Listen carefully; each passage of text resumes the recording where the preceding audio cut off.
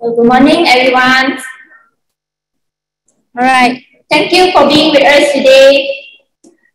So I welcome all of you this morning to the forums titled Resilient Designing, Energy Conservation and Climate Responsive Architectures. It's hosted by Niro Ceramic Groups in collaboration with Hijjas Kasturi Associate Sdn Bhd and Malaysian Architecture Student Alliance. Allow me to introduce myself. I'm architect interior designer, Ikemi, and it's my pleasure to be invited to facilitate today's session. So uh, as we are getting back to the physical scenes as, as present, so it's great to have all of you with us today on this credit drive. I would love to welcome our VIP, Dr. Ian Koh, the Managing Director of Ceramic, Niro Ceramic Group.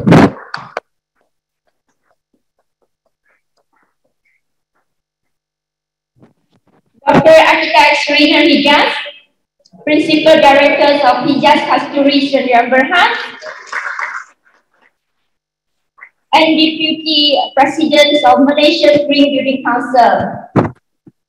Architect Wai, Managing Directors of Asia Design Architects Sdn Bhd, Directors of Asia Design Sdn Bhd, corporate members at Pertubuhan Architect Malaysia and Registered Architect with Lembaga Architect Malaysia. Thank you so much for being with us today. Architects and designers have controls over our built environment by changing surveys we design cities and buildings to connect to nature, bringing our proximity closer to nature and shaping our physical relationships to the environment.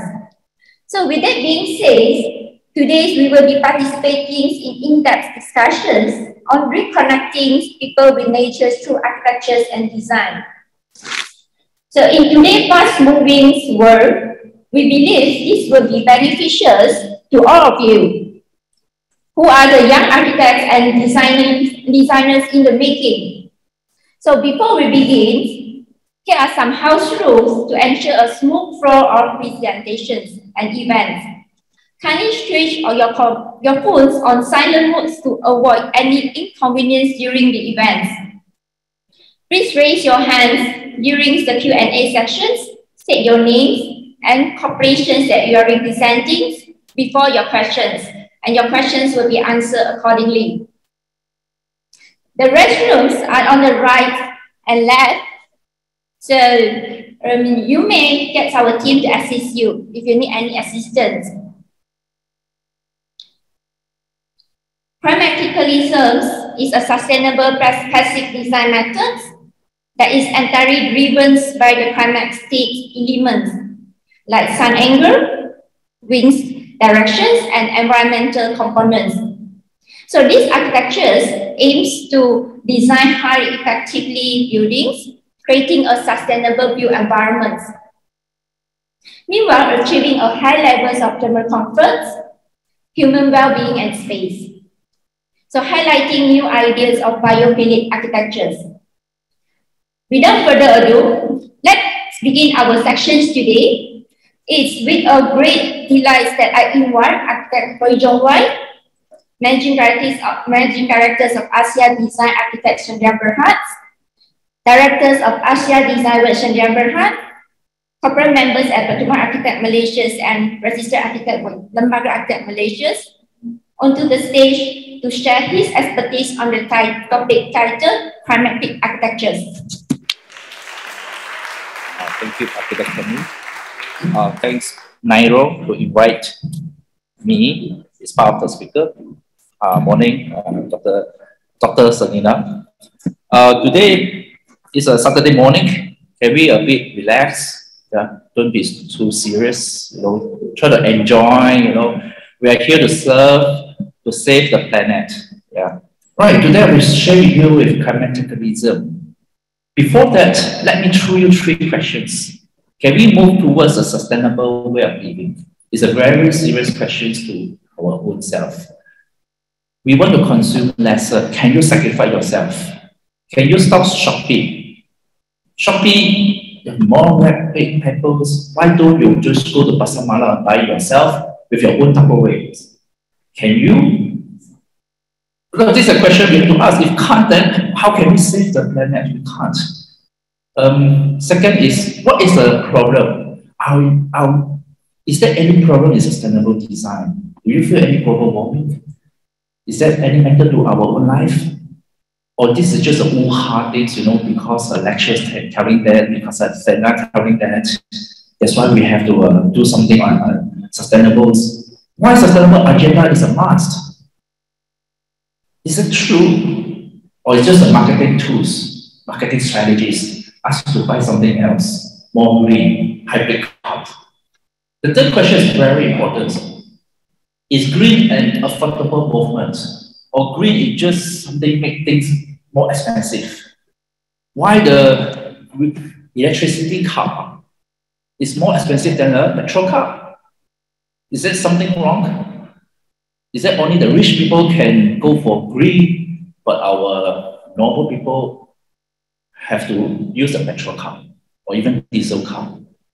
So we, without making the green affordable, this movement cannot be successful. This is real. Yeah. So these are three questions we Uh, I three out for the thought. The real problem is now we talk about real problem. Our system is an open, wasteful use of non-renewable resources and pollutions. Any material we use will be gone. It's non-renewable and pollutions. The second truth is resources available to support human life has been reduced by population growth. The planet still the same size, but we need to share more to more people every year, years by years, because the population keep growing. Today, actually, we are not enough chickens to sustain our uh, KFC. So this is the uh, truth that we're facing today. This is Ipoh. Uh, it's my hometown. Every time I drive back to Ipoh, uh, this is a scene that welcome me back home. Yeah, uh, a lot of uh, mining, our, uh, our uh, the stone, the stone mountain, Tanah Sumpah yang tiada ganti. Uh, I think the, the the government, the Jabatan Pertanian purposely put it there. I agree with that, setuju. Yeah, tapi it's still going on this kind of mining. And uh, who fault is that?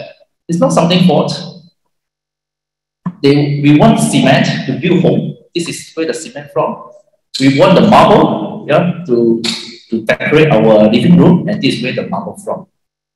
And once we use that materials, uh, my hometown, all the mouse will gone. So this is another uh, fact. We are in the shrinking earth. The data show you the ecological footprint. The calculation is we take the overall land size divided by the populations. In 1900, every one of us enjoyed 7.9 hectare of land because our roof, our, our handphone, or our, our house is all the resources all taken from the land. But in 2030, the population grew and our earth is still the same size. We only enjoy 1.7 hectare per capita. Like you, like in the we put into today today lifestyle, American their lifestyle, they need 9.5 hectares to support their lifestyle. The burger, the sun, bigger, the drive the trucks bigger. If compared to China and India, India is only 1.3 hectares to support their lifestyle. Uh, I do my own calculations. Um, it's about 2.5 uh, for average Malaysians. Yeah, maybe Dr. Selina is higher. Because this is all the lifestyle that we need the planet or the earth to support us. Can you imagine what is your, all the youngest here, after 20 years, 30 years, what's the figures? That's why now our house is become smaller and smaller because our land is lesser and lesser. We have to compete with each others. This is a real photos on the left-hand side. It's taken from one of the uh, house estates in America. The right hand side is taken from a China village. So can you see how big the house, the cars, and how the China village life is just a small quarters, then people can stay inside. And this is how the uh, ecological footprint uh, compar comparison, comparison in these two countries. Now, don't forget, China is growing. China ecological footprint growing at 4% per year. It's equi equivalent 100 million hectares per year. Previous, last time, 20 years ago, Beijing, they're all bike. But now, if you go to Beijing, it's all sport car, all the infra, uh, very high-tech infra, and this trend is keep growing. And we can, we can foresee in the futures, the resources will become scarier and all of us will fight for resources. And this is what happened in Malaysia now. The chickens cannot export to anywhere else, only can consume in Malaysia. There are not enough chicken now. And our house, uh, previously our grandparents staying in kampong house can be thousand or two thousand square feet, and now our our youngest can stay in 450 studio. This is the this is the real impact to our lifestyle, footprint. And don't forget, our population keep increasing. In 20, in 20 our today is 7.8 billions. In 2030, we talk about 8.2 billions. Yeah. So it's a good reason uh, we are here because it's a real problem to our lifestyle and futures, especially for young people. So let's go to the topic. What's a passive design? Uh, passive design, the keyword is a passive. Let's look at what is a passive first. The passive, in dictionary, we go to an old school, yeah, not acting to influence or change the situations. We do not do anything. Other people or things will take care of it to be in control. It's called passive. This is what we like. Meditation. Any problem, just meditate. Don't do anything, sit there, everything will be fine. Yeah, this is meditation. It's a passive. Okay. Another thing we like is a passive income. Passive income means the money that you earn without having to work for every day, for example, like uh, you receive a renting, um, renting income out of your properties. This is the income we want, right? This is passive income. Like this, uh, just you can go holiday, you know, do nothing, and the money keep coming up. But it's only happened in my dream. Anyway, we start with passive design first before we go for passive income. Now, passive design, likewise, passive design is a system or structure that directly uses natural energy, such as sunlight, wind, temperature differences, or gravity to achieve a result without electricity or fuel. So we don't use any energies to, to design the building and to make the building comfort. This is passive design. I just want some uh, real facts in our GBI assessment systems. In GBI, I done a research. If we design a building without any equipment, without any energy use, yeah, maybe fan, yes, how much we score in GBI? I need to uh, you know, uh, is only 38%. This is GBI. How if you use all the great technologies, most effective aircons, and we can got 40%.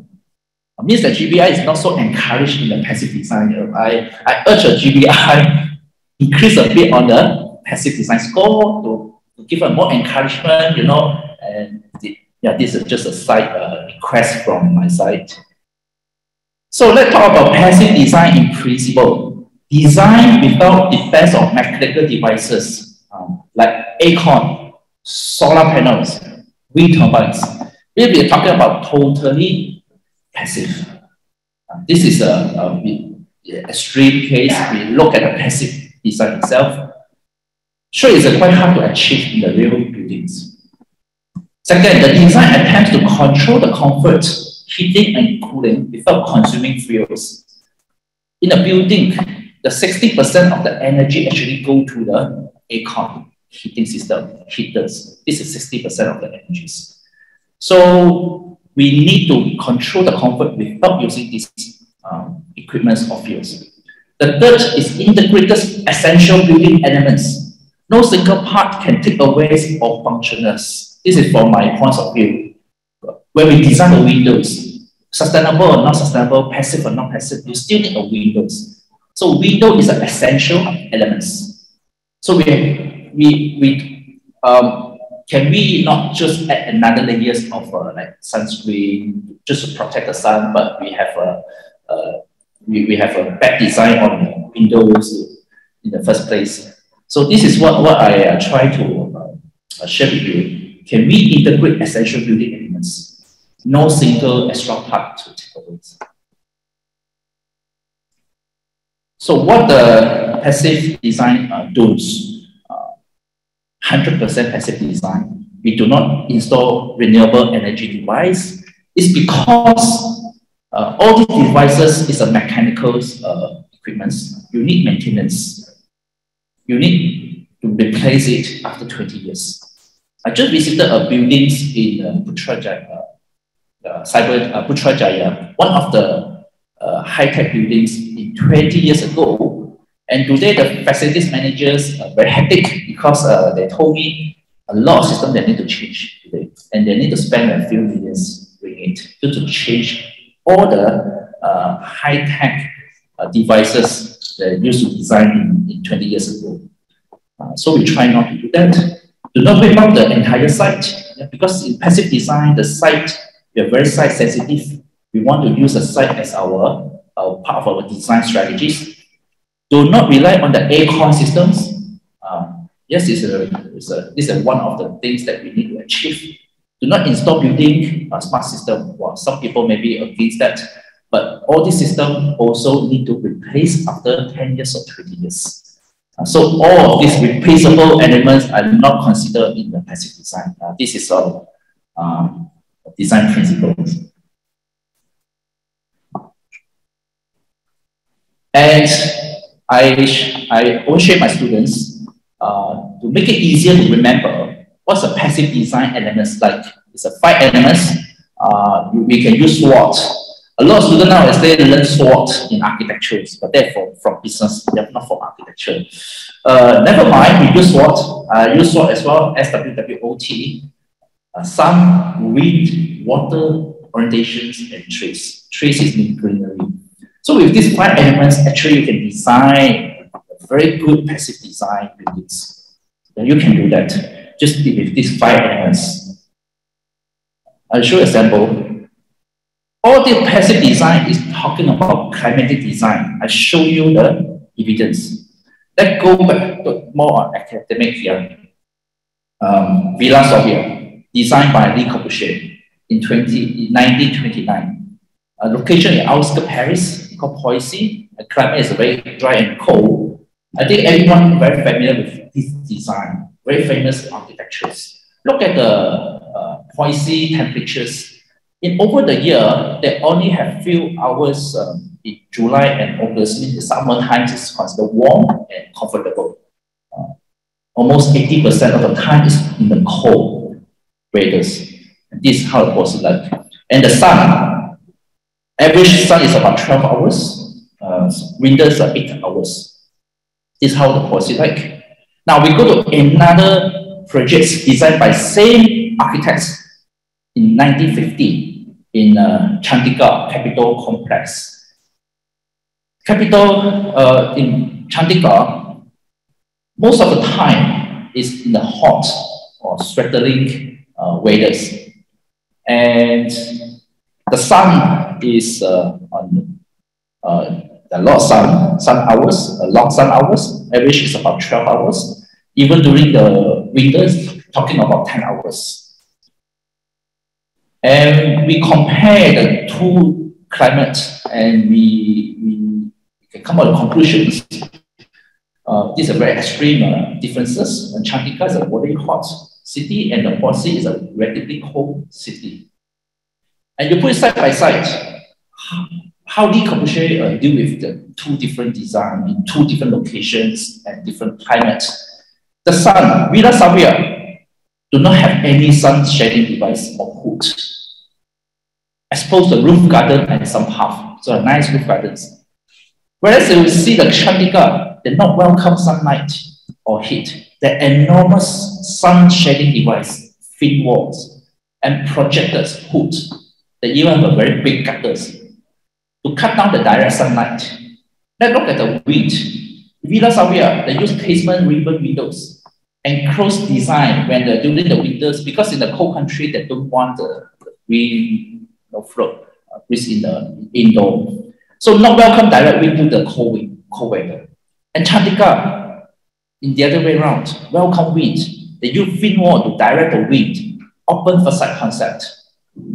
Water, Villa Savoye do not have any water features, but in Chandigarh, the water features surrounded the building, evaporation effect to create a microclimate, cool down the wind before penetrate into the buildings. So it use water to cool down the temperatures. Foundation both of them, uh, more, more or less the same, greenery, only a greenery. So here imagines why the same architects have a two different style in design. Especially in the old days, uh, before the aircon invented, they very much depends on the passive design. And this is how our, our great architects uh, create the buildings, respond to the buildings in a very, uh, in a very distinguished ways. Now let's look at uh, our modern uh, buildings. This is a St Mary Axe, we call Gherkin Towers, look like a Gherkin designed by Norman Foster. Very nice buildings. And do you know how Norman Foster designed these buildings? Uh, in London, they have a law, if you build any high-rise building, you cannot block the sunlight, or you need to maintain a minimum sunlight for the street. So this is the site, and these are sun angles. This is a height that you can build on this site. And Norman Foster is a very uh, smart architect. He's a, he's a great architect. So he want to maximize the GFA and make the tower taller. So how? Why don't use up the empty space and use the sun angles to generate the form? This is how he start with the design. A nice form design using sun angles as a generator.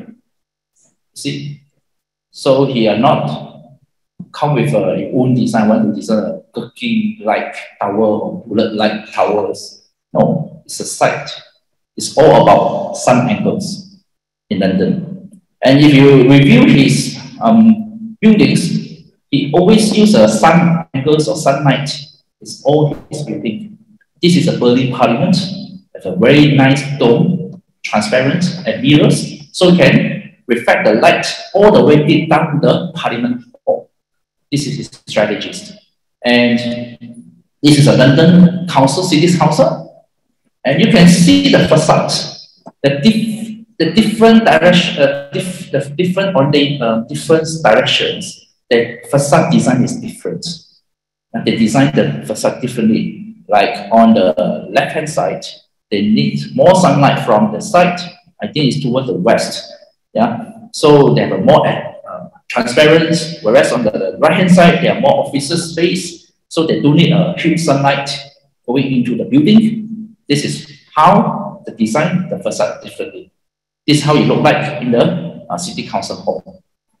All natural, natural light. So Norman Foster, all about sun. This is a very got evidence to show he used the sun as a design generator. Compared to our, uh, our countries. This is in the tropical climate, Singapore, designed by Dr. Ken Yeang. It's a national library. And Dr. Ken Yeang very good on the wind. He, he, he really understand how the wind work. Uh, even he, he did not write it a lot in his book on the wind design, but I worked with him before, uh, so I know he's, he's very good in wind predictions. This, he always use a technique to create a wind flow, uh, like have a huge atrium, because atrium with this height can create a stacking effect.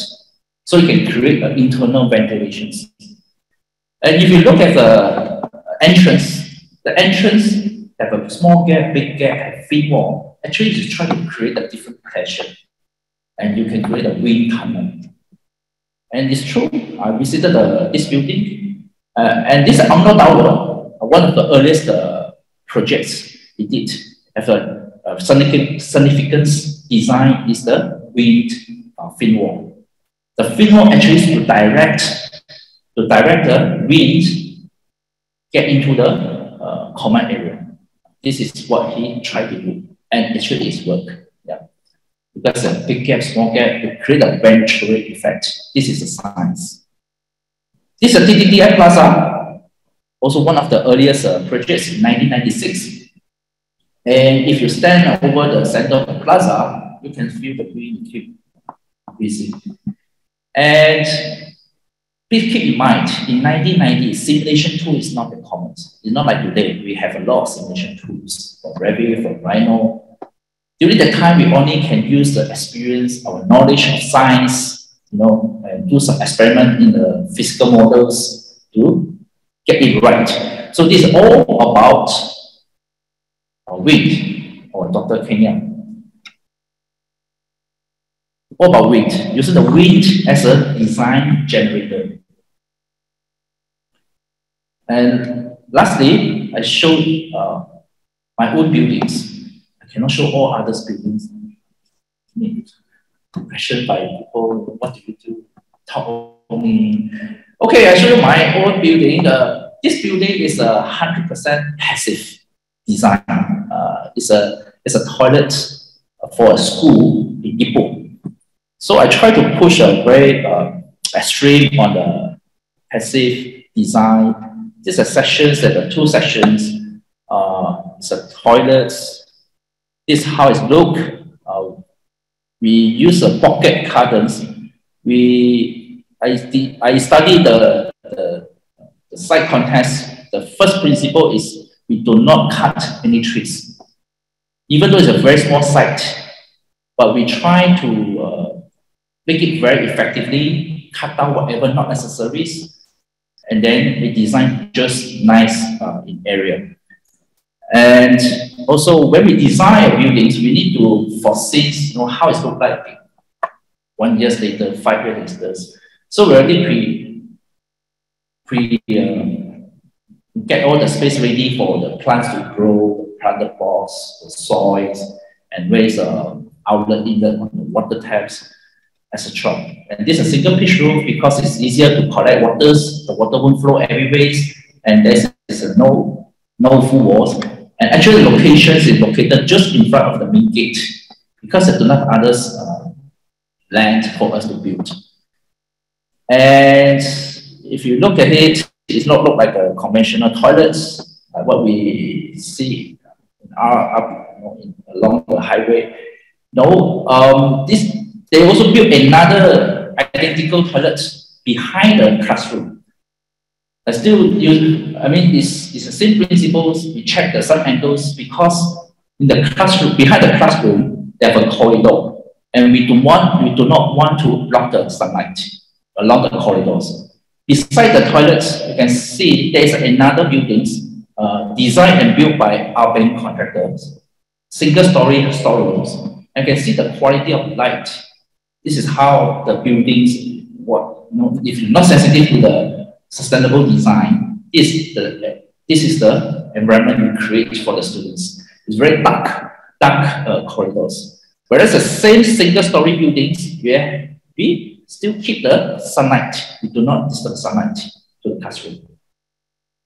We do not door. We use the, you know, we try to adjust our setting according to a site so we use a tree as our uh, entrance statement. And we don't have a mean, we do not have a door. Uh, so actually, my perspective is to, is to create more ventilations. We don't want any enclosed the buildings. Uh, for, but for the school, right, we solve the social issues because no one can hide inside the toilets during the class. So we solve a bit of bonding issues and also smoking issues because if you smoke in this toilet, anyone can see it. Yeah. And there's an internal, internal light. Uh, during daytime, we do not need to on the light. It's very bright inside and very ventilated. You do need you do not need a blower or extract extract fan. You, you do need all these equipments. And we designed a, a basic, it's a gravity flow uh, behind the wall is a urinal. So we do not use pump or very complicated uh, pipes. And also we can you know, teach the student, uh, educate the students, say you know, all the water have to have to use twice with the clean waters and encourage the student wash their hand after business, especially guys. So give create some story for them. And the tiles, this tiles actually we recycle from the classroom, 70 years old tiles from France. So we select all the good tiles and then we study how the roof like, how, how the joint like, and then we use a steel uh, patents to recycle it back. And we hope it can last another 70 years. And at the internal design, all the piping exposed because it's easier for maintenance. If anything go wrong, they just they can see it, they can replace it without any hacking or complicated job. And we also uh, we, we, we request all the materials must get it from Ipoh, not more than 10 kilometers. Yeah, I think it was a lot of uh, cement or bricks and then we also we, we also uh, uh, make sure all the construction methods can be done by anyone, even though uh, a bank contractor that can re repair it without a specialist. This is our uh, design uh, directions. And the louvers behind, I studied using uh, what's the I, I, do a lot of configuration just to do uh, the louvers. Uh, I try to come up with uh, optimum configurations. What is the maximum opening, but minimum risk of uh, rainwater splashing in. In Malaysia, we have a, we want the natural ventilations, but we have we are we are in the tropical countries, so rain splashing is our problem. So how do what's the optimum angles? And this is the back of the toilet. Um, at the back of the toilets, we also request uh, we want it to design nicely, neatly, because we want to take care of the user. All the buildings we design, we, we, we ask questions, who use the buildings? Not the students itself, but the cleaner. The cleaner is the one who spend their time with the toilet, so we want them to have a nice working environment. So if they're happy, right, they will take care of the toilets uh, better, or spend more time to take care of the toilets. So we, we, we also ask the cleaner, you know, what is how the operation like, what's the problem in the existing toilets, uh, and then we design accordingly for them. Like they want the storerooms, um, they want the water type just right in front of the uh, of the doorstep. This is what we uh, try to design for them. And this project being widely reported uh, in the newspaper uh, actually is, is good because we can educate the public uh, today, if you design a toilet with aircon, it's nothing new. But if you design a toilet or building without any aircon, any equipment, that is something new.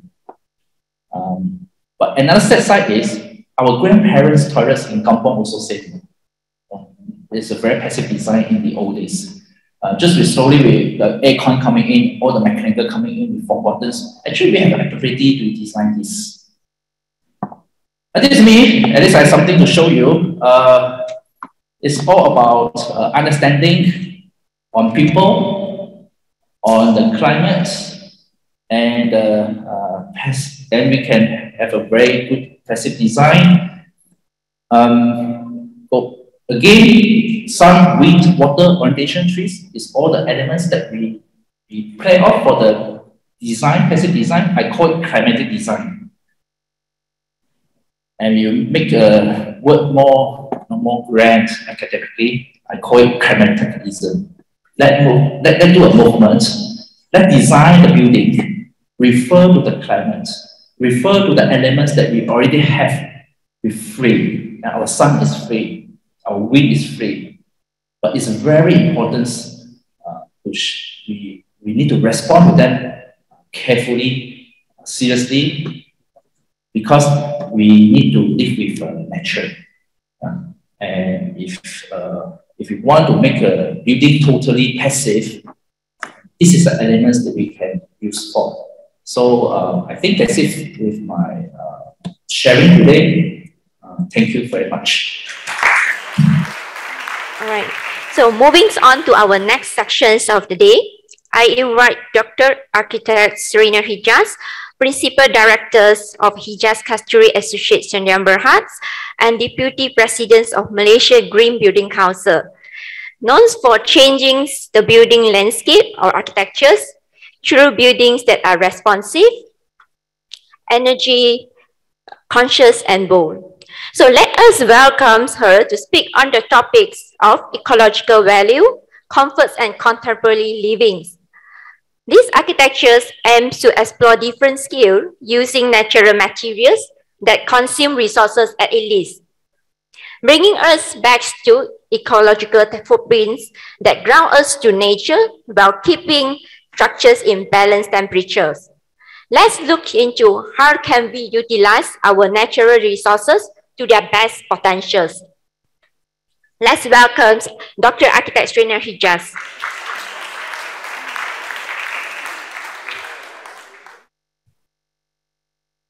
Hi, um, thanks for coming this morning. It's been a bit early. Um, yeah, I thought I, I sort of, you know, flash up some of the projects that I've been, I've had the honor of working on.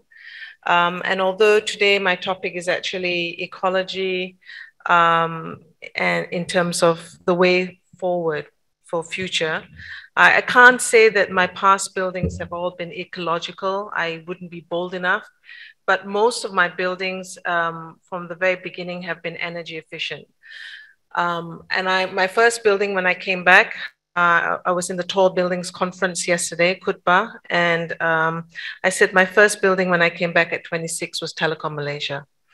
And that building basically achieved about 110 BEI, which is 100, it's about 50% less than a typical building built over, well, I can't tell you, tell you how old I am, um, some time ago. Let's just put it that way. But these are some of the projects that I, am sort of proud of. Um, and um, from very tall, I seem to be going much lower now uh, in terms of design. Um, so my topic today is really to inspire you um, where I think uh, the next generation of architecture should be going. And the topic is ecology and architecture of the future. This picture is behind uh, our site. Uh, there is a little river um, and it's in uh, what's called the Kasturi project. Um, and it's probably one of the best uh, ideas in terms of ecological architecture in, in its full sense. We've already reached plus 1.5 degrees at Bayan Lepas Penang. So I don't know what everybody's talking about, but we've already reached that. And um, studies from Think City on the urban heat island is that going forward, uh, what we are going to suffer in, in terms of 2030 is a plus one degree temperature and that the wet bulb will actually increase and humidity will increase and it will be worse in the tropical belt and that uh, heat will be the biggest problem that we'll be suffering, heat stroke. Um, so um, you know, there's a lot of talk about carbon, and I, I don't know how to explain it much better to you than to actually explain about how big is our biocapacity footprint. So like the good, uh, I'm not a doctor, I've just got to correct that. I've been given an honorary doctorate from uh, Heriot-Watt for the Heriot-Watt building uh, and for my contribution in sustainability. Um, so I'm not a doctor. How big is your biocapacity footprint? I, I did go in and do my, my own and just one travel to Dubai to have a look at the Dubai Expo project. I exceeded uh, my biocapacity uh, globally. So it just tells you every time you get on the plane, um, the biocapacity increases. However, um, I have 14 acres of indigenous plants and some of the oldest plants that my mother is growing. And also in the Kasturi, we have the, the swamp. So my carbon sequestration is zero. So in other words, whatever I've created, I'm down to zero. Um, so uh, that being said, I think you should all go in and do the biocapacity footprint. Uh, how big is your ecological footprint? Um, and how big is your carbon footprint. And in three projects, I'm going to exemplify because I think um, giving example to what you talk about uh, is really, really important. And then you can see what we're talking about when we talk about biocapacity. So I love this little video and cartoon that's on YouTube. It's called the ecological footprint. Um, and I think it explains it very well. So the ecological footprint is the amount of land and water needed to produce the resources we use when we consume. Um, so when we consume in terms, not only in energy, our clothing, our transportation, all the rest of it, it's, it's ironic we call it ecological footprint because ecological just to me means green, but it means how much we're diminishing.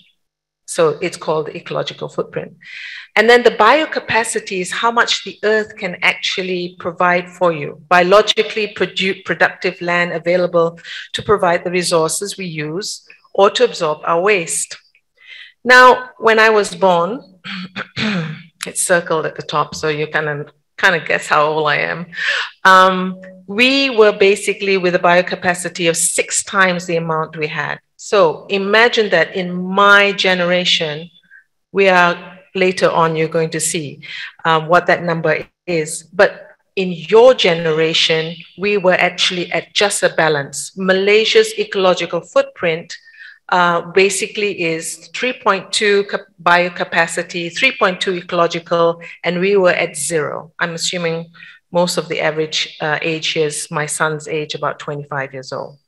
So you were at zero, zero at that point, okay? Today, we are at minus two.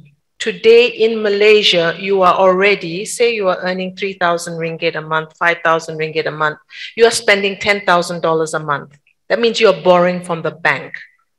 That is how much you are using. And so we are minus two. We have this uh, incredible idea that in, in Malaysia, we have abundance of everything. We have abundance of water. That's why in Penang, uh, we have the highest use of water globally in the world, in Penang. Um, we have a lot of green. So we can, we can build and do all the things we want to do. But so it's really ironic that we see we're at a biocapacity that is minus two in 2018. So, so much for all the reserves that we think. The only place that doesn't have the minus two and the only place that's going to be saved in 2030 is Canada. So few people, a lot of land. Um, so, and then how do we relate that to carbon footprint? Well, it's your impression or emission on the planet it's the amount that you're emitting out in terms of release. Um, and at the moment, we're emitting about 60% from that. So um, I often use this slide only because I see, I think that everybody can relate to numbers. I like numbers, but I can see it from the sky. I don't remember when we had the haze, the terrible, terrible haze, and everybody thought that the ppm in the air is really, really bad. Well, it was at 407.25, and that was in um, 2017, okay? We had fantastic blue skies in the pandemic, right? But do you notice that the number went up to 414? So within five years, that number, the ppm is the amount of carbon in the air measured in Mao. It went up to 0.7. It means that even though we stopped a lot of manufacturing and the and, uh, and a lot of transportation, mobility, travel, all the rest for the two years, this number was still going up. And the reason why it's still going up is it's because it's for all the manufacturing we've done 30 years ago. I have another slide that shows basically if you're looking at the North Pole and where we see the hole, it is basically the outcome of 30 years ago. We are just trying to catch up with time for, for all the carbon that we've released into the air. And so the balance of the planet's resources are used to regenerate new resources. So we need to balance energy, resources, and most importantly, ecology. Because going forward, we need this ecology to cool down our climate in the bigger scale. So one, the only one feasible pathway, as mentioned by um, the good um, speaker before me was that we have to look at what I call nature-based solutions. More passive design, yes. Uh, more uh, efficient energy efficiency. Of course, if I'm going to do a low-rise building, I can do a lot more natural ventilated. But when I go to a high-rise building and it's an office and not a residential, if it's a residential, I can do also a lot of passive design, but I can't do it in an office building that's going up vertically because I, I, we try to do it on Telekom Malaysia. We try to have the, the core would be naturally ventilated.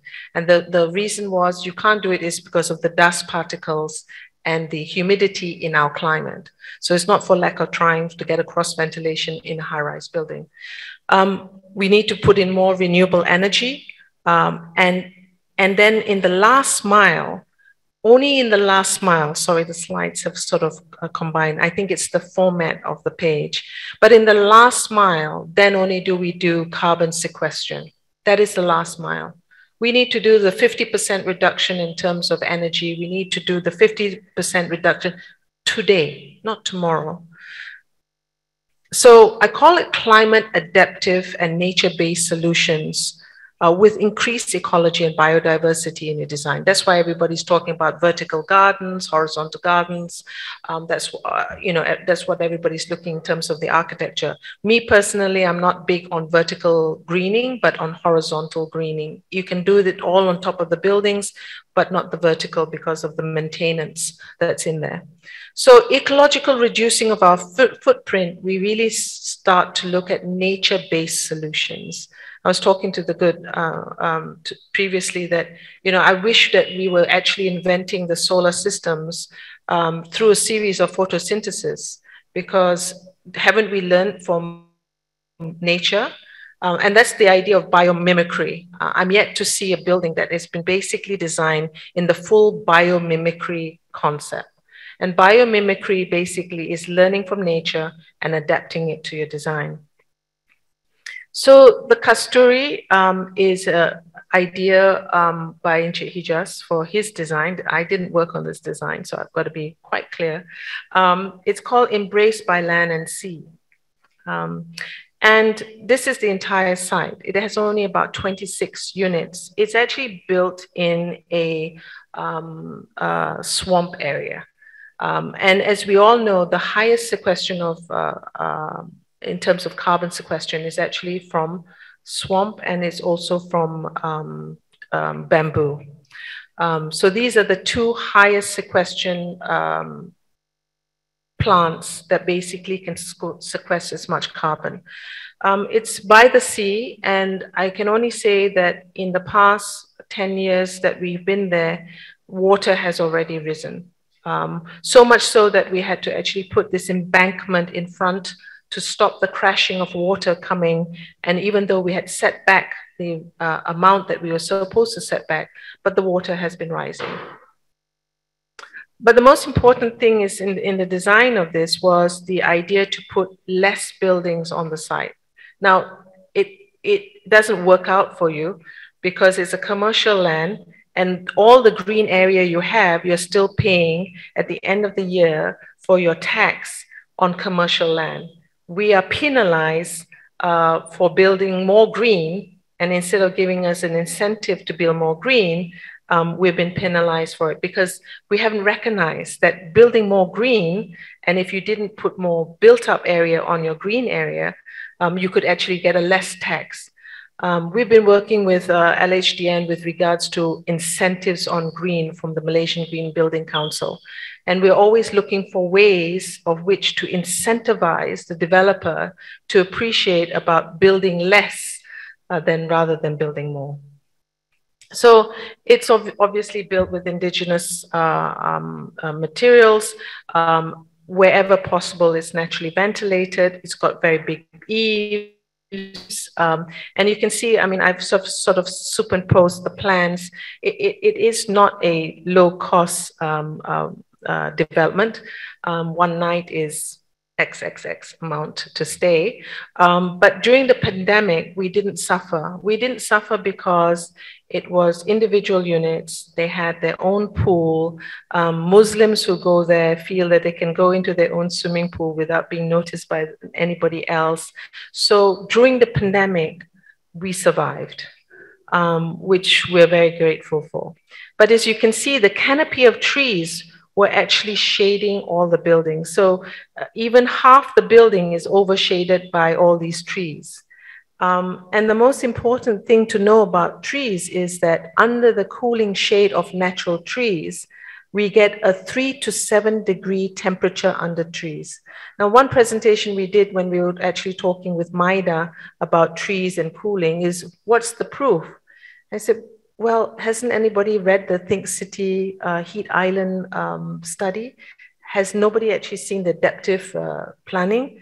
Already, when we did Telekom Malaysia, we already knew that under the trees by uh, uh, Hassan Sunny, the temperature would be three to five degrees cooler. So if we know that the temperature is going to rise another plus one degrees, it's very certain. It's, it's science um, then we need to put in more trees to cool down our areas. Um, so there's 3.3 to 7 degrees. You increase the immense habitat value of the inland. You protect your seafront um, with the swamp. And so there are a lot of things that you will get out from what I call nature-based solutions. Um, and um, this, of course, is the pictures of the resort. On the resort is 100% indigenous natural species. Um, so whilst I build, my mother is a natural conservationist, she greens. So uh, we often have this argument about how much green are we actually doing. So for this project, she was the client and she said, I don't want you to cut as much trees at all. Um, so there's 90, I would say 90% passive design. We still have air conditioning in the rooms when they want to switch it on. Um, it's 62.2% land area untouched. That means we maintain, as you can see, we've got an elevated walkway going through, and this is Beluka at its very, very best. Um, and you know, this is kind of views. Sometimes we have the trees popping out of the of the roofs, um, and that's basically trying to build in it. And because we're in Niro, I thought that the materiality, context, and textures that you see are what is basically influencing the color choices that um, you know uh, Niro seems to be moving into this sort of natural colors and materials. Um, which obviously, once we can't uh, uh, afford um, timber and all the rest of it, we we move into the tiles. And i think tiles have sort of starting to mimic this sort of natural material. So um, raw concrete brush concrete wherever possible um, the slate and you can see the slate color is almost close to the river color and the timber is also close to the you know in this kind of light color. So um, choices of material become very important when you're designing in these kind of locations. Cahaya Langkawi is, I think, probably inspired from that. We actually went on to do some some sort of other competitions called the Durian Resort, as you know, durian is hyper big. Um, I didn't want to, I didn't show any of that. But Cahaya Langkawi um, is a resort that we're about to start doing, and it's a high rise. So a high rise and a low rise is totally, totally different. And somebody comes to you and says, "I want 150 rooms," and it's it's really impossible not to think about going vertically. Um, and it's called Beacon at the Sea because it's Cahaya. It's essentially for TNB. Um, so they call all their resorts Cahaya. So beside us is this hill mound, uh, and we only have a very narrow front to the sea.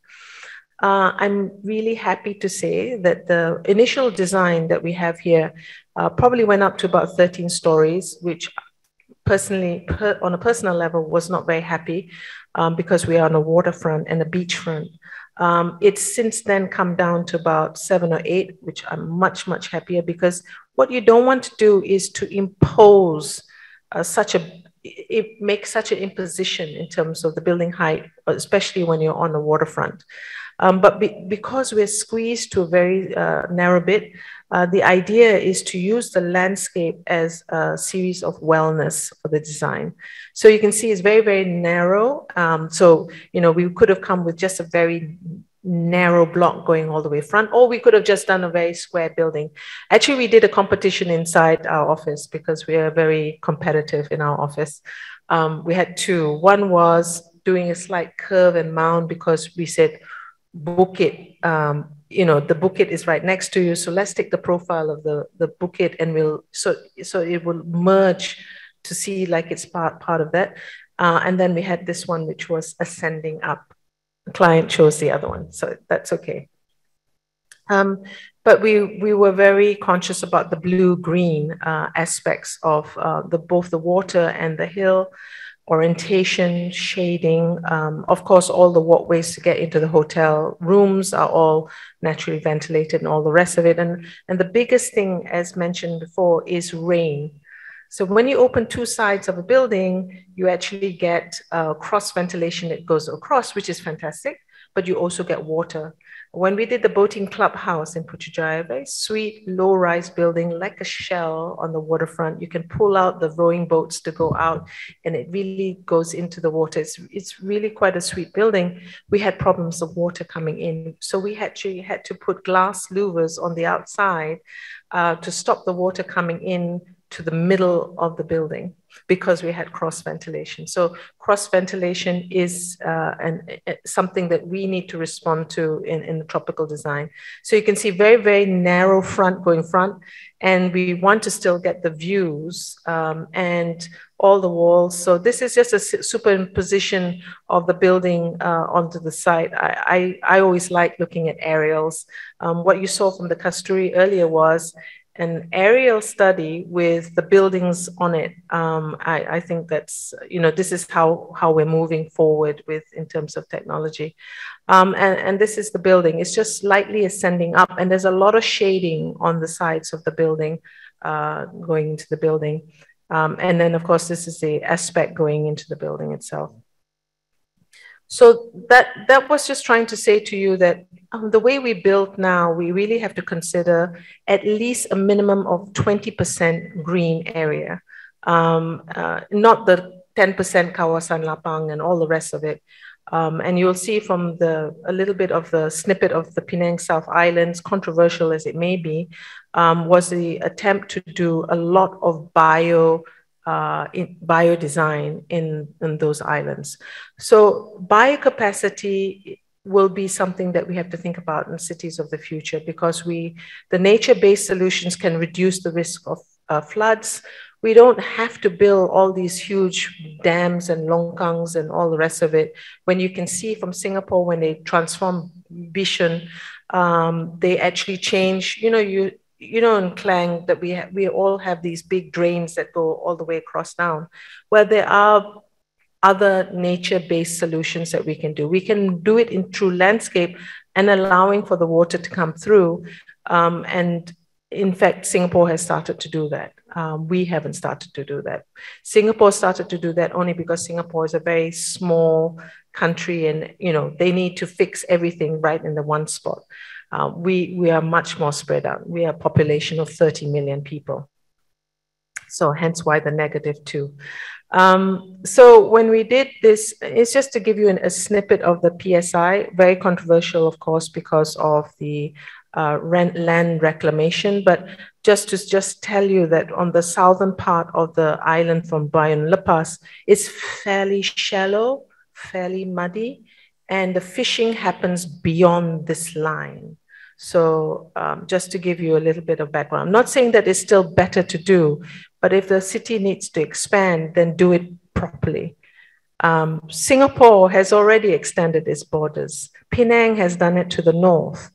All cities actually have done it, but if you're going to do it, then try and do it. And that's why this was called BiodiverCity, because the approach we took was really, really quite different not just because of the look. I mean, the buildings go no higher than 20, 25 stories in the entire city. The green area is more than 25%. But around the island was designed that you would actually have still an ecological edge all over the site and going into the water itself. So the ideas about it were ecology, mobility, community, resiliency, and sustainability. And, and really, these are the tenants moving forward when we want to think about reviving, recreating, regenerating our cities.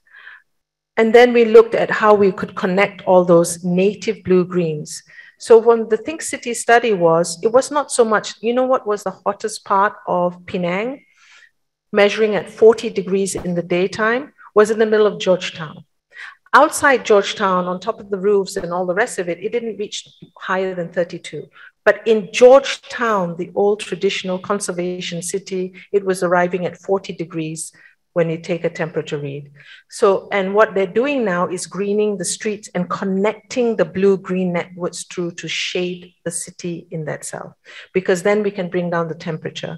Mobility was looked at in terms of getting a much better mobility, therefore bringing less cars down, uh, much more community compact activated mixed use, resiliency using the responsive nature-based future flexible systems, and passive integrated smart systems.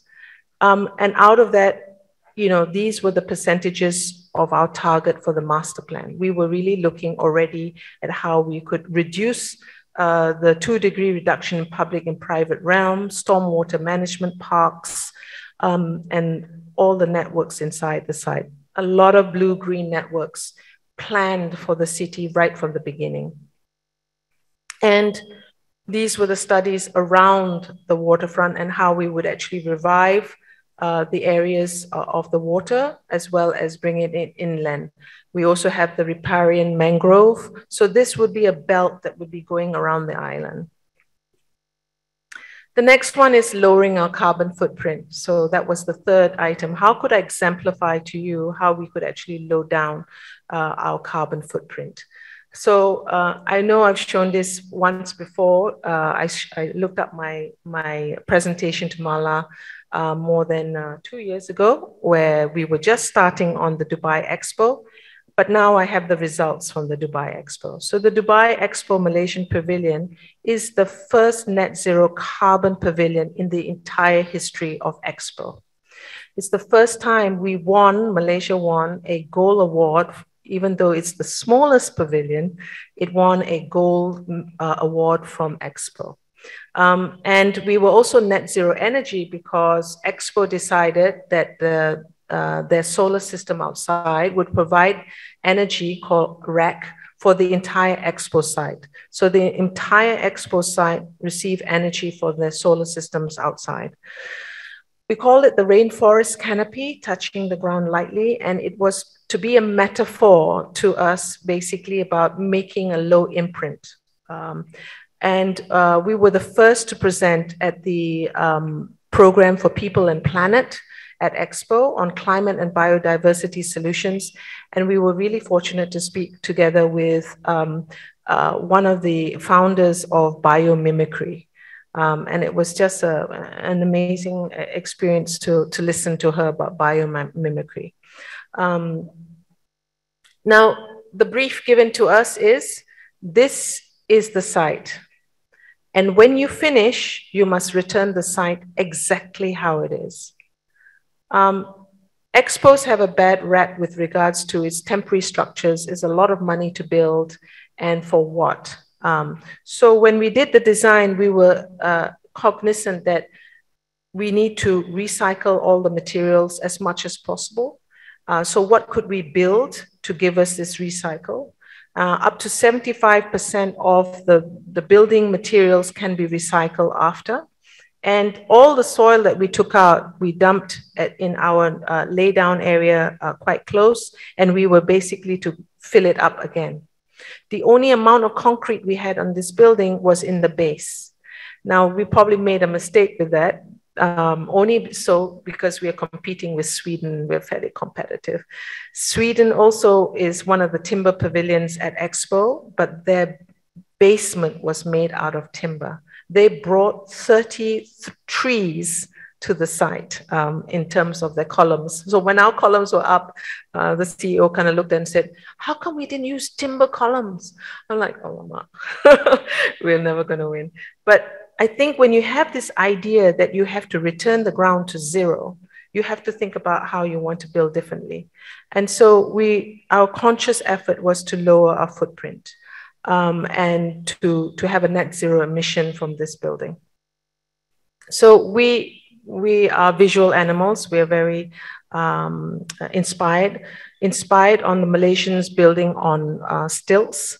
Um, what we used to be known for, building on stilts, and maybe we will we will still be building on that when we basically have the water rising, especially on the water on the river areas.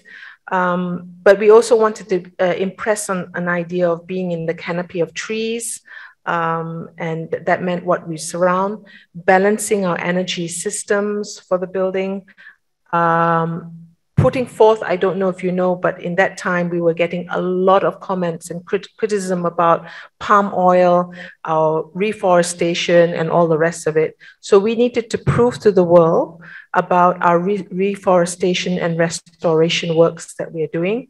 Uh, that's one of the examples, for example, uh, on this thing and balancing sustainable plantation. In other words, we do know we need to have plantations, but how can we actually balance that? Yeah. So um, one of our inspirations is this sort of meandering river inspires the passage into the into the pavilion. As you can see, the passage into the pavilion is this winding uh, road, uh, winding uh, route going up into the pavilion. So it is sort of mimicking going through the river. And there's landscapes on either side. Uh, so we have a water feature in the front uh, where we have uh, some cooling where people have to wait. Um, and then we had these greeneries and pockets and sunken garden to bring light down into the space. The client gave us three times the amount of area or space that we had to do. So we went underground uh, and created this sort of courtyard space. It is a tiny, tiny site. It is one of the smallest pavilions at Expo. Going to um, uh, uh, going to Japan, uh, the next Expo will be Japan the site will be three times this for the Malaysian pavilion. So get in there. Um, land and architecture concept was really important to us. Now, if we want to talk about passive design, we're not going to be able to do it when we're doing all the exhibitions are all internal what I call a black box. Yeah. So you see this meandering route that comes into the pavilion, very organic, uh, buildings. Uh, we use a Meranti. So the, the floor, walls, ceilings are all in timber. Um, the structure is the combination for the staircase in concrete at the very minimum. So we minimize where we use the concrete. We use the steel, and all the steel is to be recycled after. Um, holding the pavilion in the front, we call them the chopstick uh, uh, columns. Um, this is uh, on the roof itself. We do have some PV, um, and as you can see, uh, the site. Uh, in section, it was basically at the ground floor. You can basically move around the pavilion, and then uh, everything is elevated, or there's one sunken floor. Um, you know, some some of the sketches. Um, the columns are metaphor for trees. Um, we didn't want to bring trees, trunks into this location. Um, and also they light up a little bit with uh, lights to appear like fireflies at night. So the metaphor of fireflies uh, in that sense. So they sort of light up. And indeed, from a distance, you can see these poles with little lights that are going.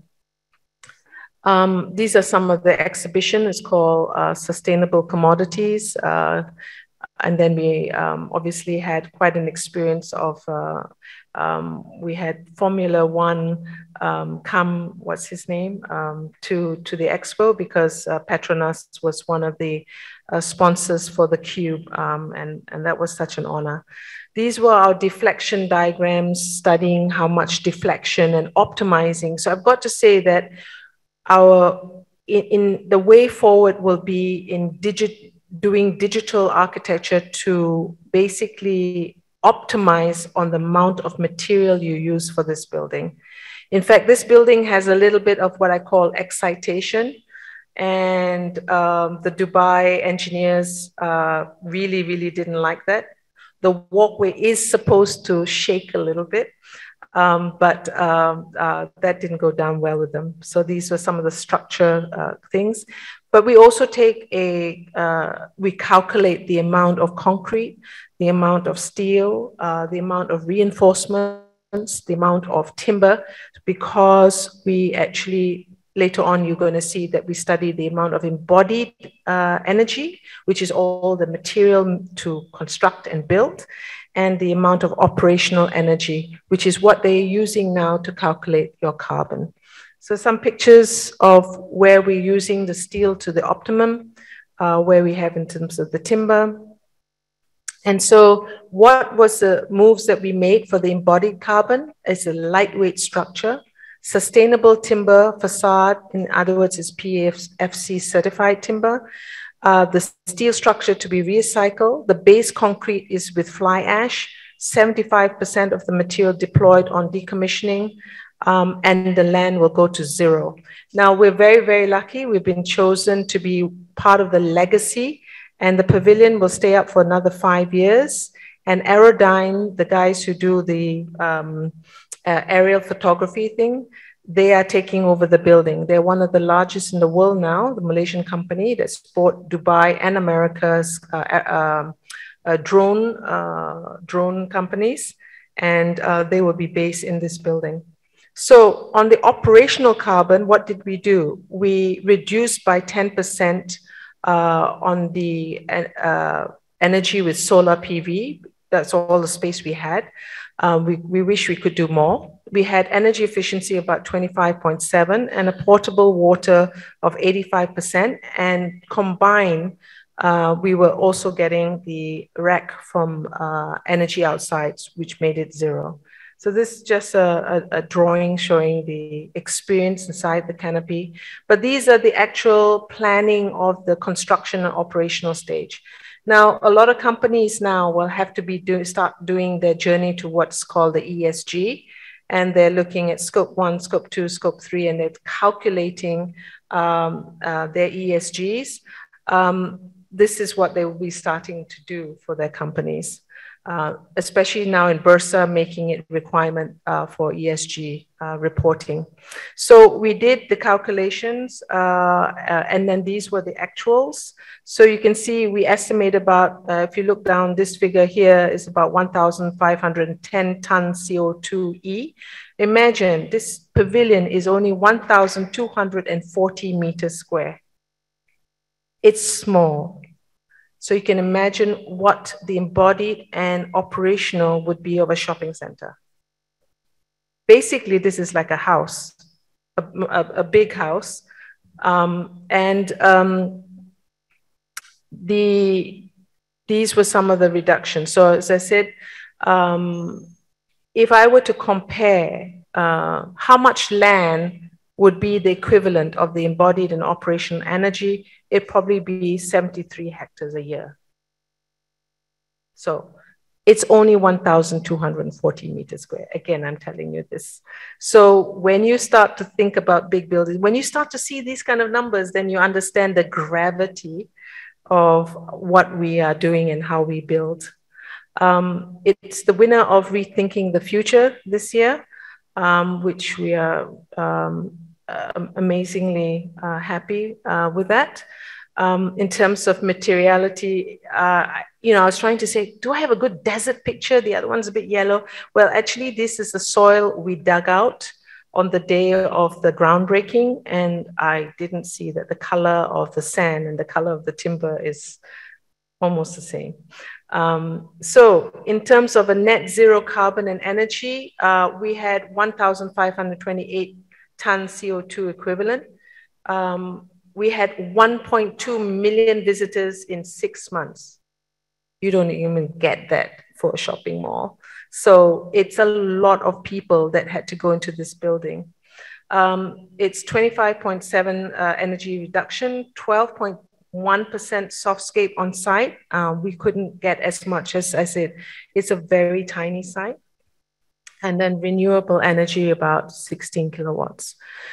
So what is the future that everybody keeps talking about? Everybody keeps talking that the future will be that we'll be growing our cities and building timber buildings. Um, these are some of the examples of 18 story building, 18 stories. There's two that are about 18 stories and some that are planning buildings that are about 30 stories. I wouldn't say they're all timber. I would say they're hybrid um, due to fire, but also not so much to the fire, but uh, due to the um, strength uh, and materiality. So they're, they're moving towards cores that are either steel and concrete, and then the, the floors, ceilings, and walls. Um, but it was a question I posed to uh, the structural engineer yesterday at the Kutbah with regards to using tropical trees. Um, so tropical trees behave quite differently from uh, European trees. Um, and so we have issues in terms of how we're going to do that. So please be part of the commitment um, to move towards nature-based solutions um, and increase the amount of greenery that we have on our side, because this is the only way that's going to cool down our environment as a whole. Thank you. Right. With that, I would like to invite Jasmine Yap, product marketing marketers at Niro Ceramic Groups, to give our her speech.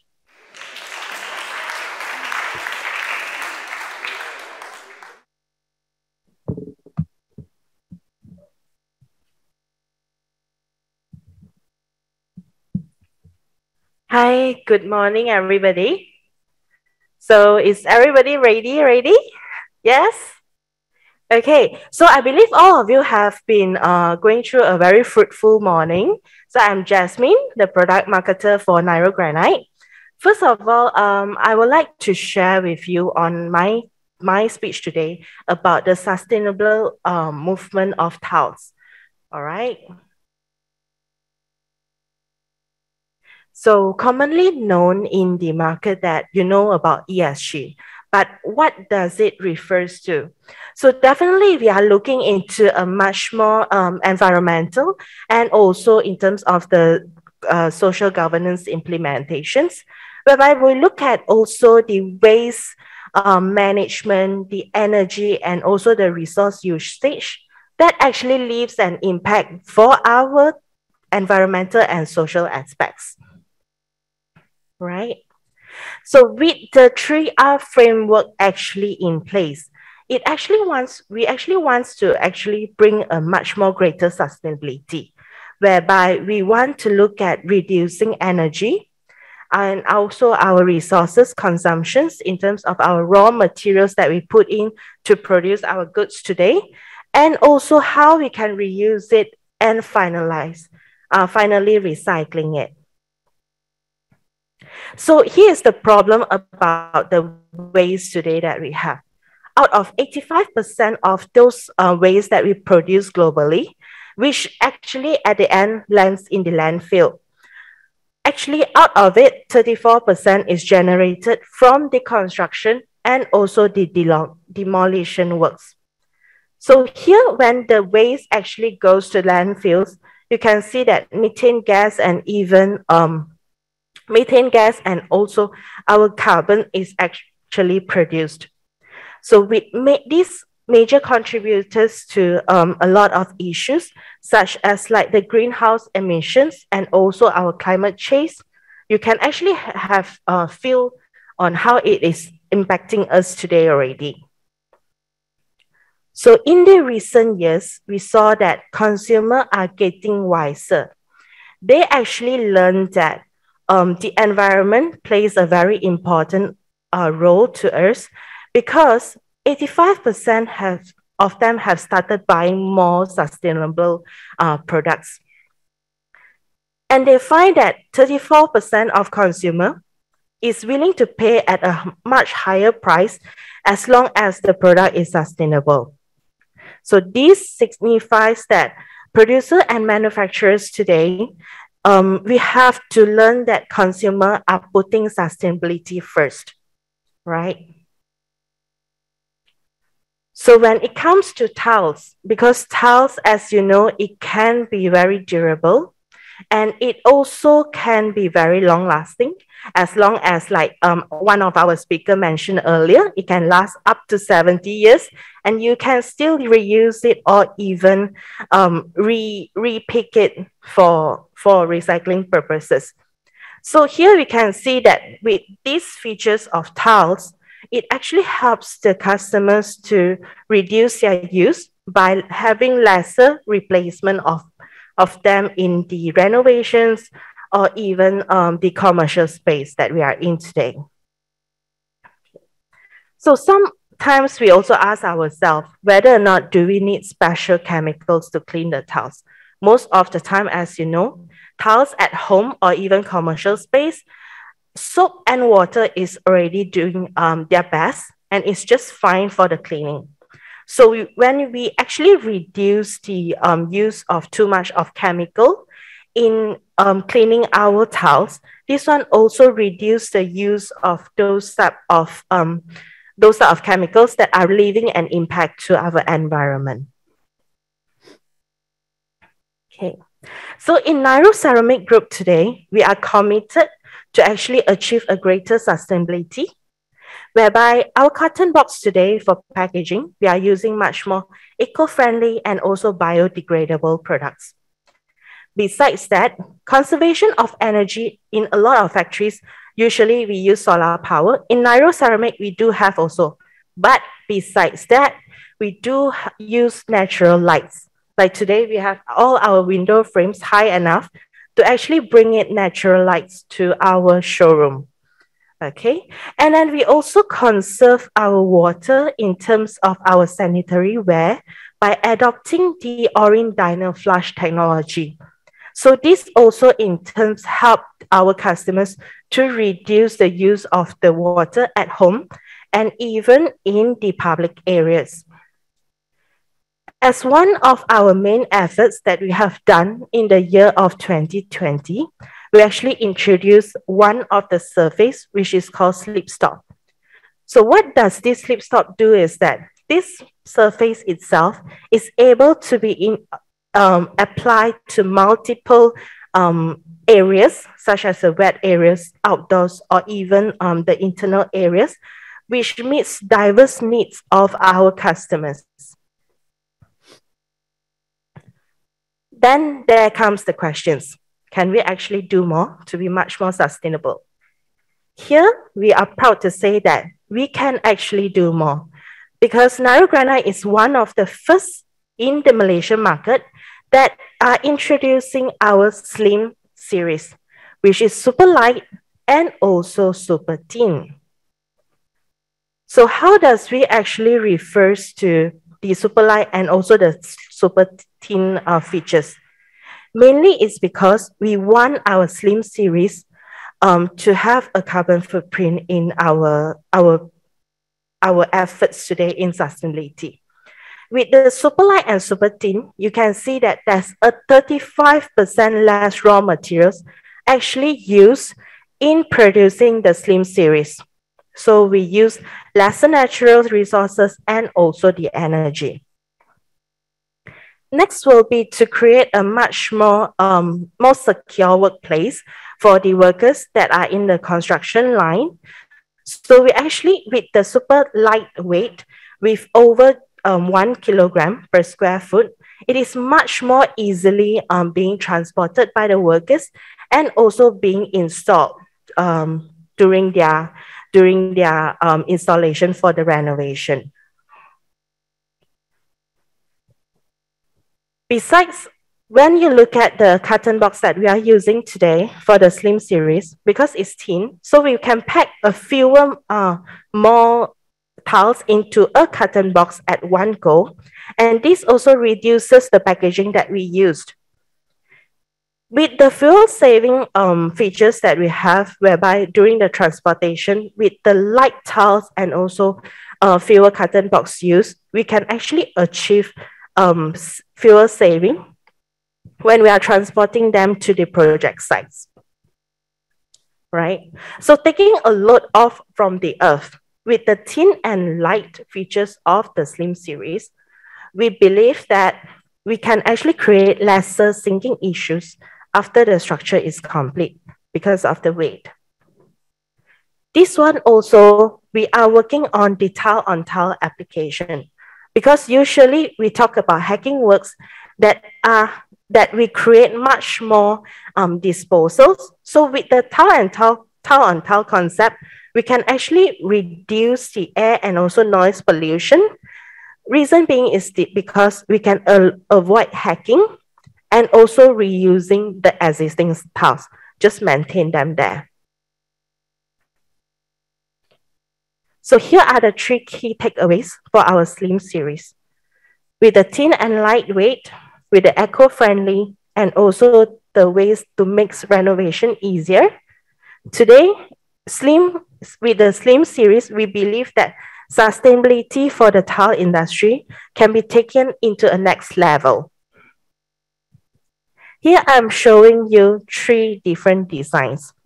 When we are talking about sustainability, we always say that it could be very raw and sometimes it could be even boring. But for tiles, that's another case. Reason being is because our design today, it could be simple, it could make a statement, or it can be unique also. Here we are looking at three different designs. We have the simple one, which is the first one, we call it Atmos. The second one, which we are creating a statement in the space that we are going to design, which is Breeze. And lastly, we are creating a unique design of, um, of mimicking the urgent limestone, which is Gust. For all three designs, we have it in only one um, one sizes, which is 60 by 120 cm. And then we also give you the flexibility of having it in two different surfaces, which is both polished and also matte. But matte is only for Atmos and Gust. To make it more natural, we also have our tiles in five different fixed faces. So here you can actually view it physically in our showroom today because we have actually um, display all the faces which is available over that over the left side of the showroom. So here I'm showing you all the available faces. The first one is Atmos, then followed by Breeze, and then the last one is Gust. So with this, we also would like to um, share with you and bring you on a virtual showroom tour, which could help you to understand further on the concepts that you can apply and even the areas that you can actually look at. Here's a QR code appearing on the screen currently. You can actually scan it. Okay, I will just stop 10 seconds here for you to scan the QR code.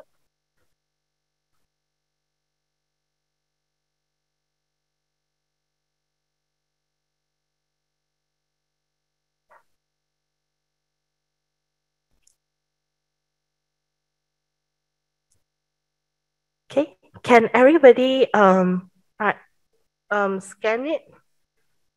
Or are we having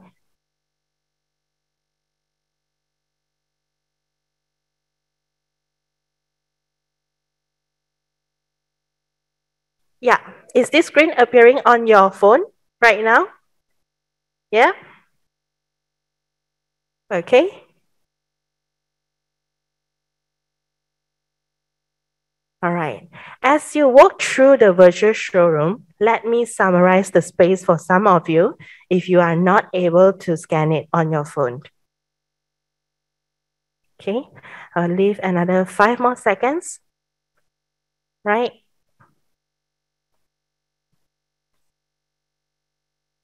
Okay, so moving on, then let me walk you through the showroom. Okay, the first place that we are looking at is a living area whereby we combine um, our Atmos with other building materials. Even you have the flexibility to match it with a, um, a wood uh, de design panels or even your furniture. So here we are displaying Atmos in both the feature wall and also the wall, uh, the floor area. You can see that with these simple tiles, it actually enhances your entire area, making it simple, but at least the design is much more needed. Second one, if you like to create a statement in your commercial area, here is Breeze, whereby we are displaying, displaying it in the reception area on the wall side. So this will actually capture a glimpse of your, um, your guests and also your audience that when they are walking into the space. The next one is an application in the dining area because dining area usually you would like to have a much more cozy and also warmer feel. So we have Breeze displaying it the dining area at the floor. So this is one of the combination that you could go for.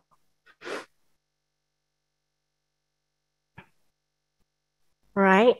And then if you are thinking to refurbish your leaf area, to save your time and also saving your cost of the hacking, you can do a tile on tile, um, tile on tile concept whereby you can apply our breeze or even all our other design in your leaf interior for both floor and also the wall.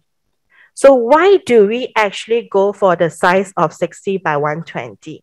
Usually the beauty of 60 by 120 or sizes even larger than it actually have lesser grouting lines. This will actually help you to elevate the space and make it looks even much more catchy. Yep. All right. So moving on to the kitchen area, whereby we are looking at a much more clean and also a much more needed um, space. Here we have our Atmos displayed on the floor, and then you can opt for Gust to be applied as your kitchen backsplash and even the island countertop. So this will be one of the options. And then lastly, we can actually look at the elegant and also luxurious feel type of concept where we have our Atmos and Gust appearing on both the bathroom area, floor, and also wall. Okay, so with that, I will leave my speech here today. And then I hope that y'all have a understanding on the TILES um, sustainability movement that we are aiming for. If you have any informations on the series or even certain products that you are looking at, do stay tuned to our social media for the um, applications. While going to the website also, we'll share more information on our brand and series. All right, thank you. Thank you so much, Jasmine. Please be seated on the stage.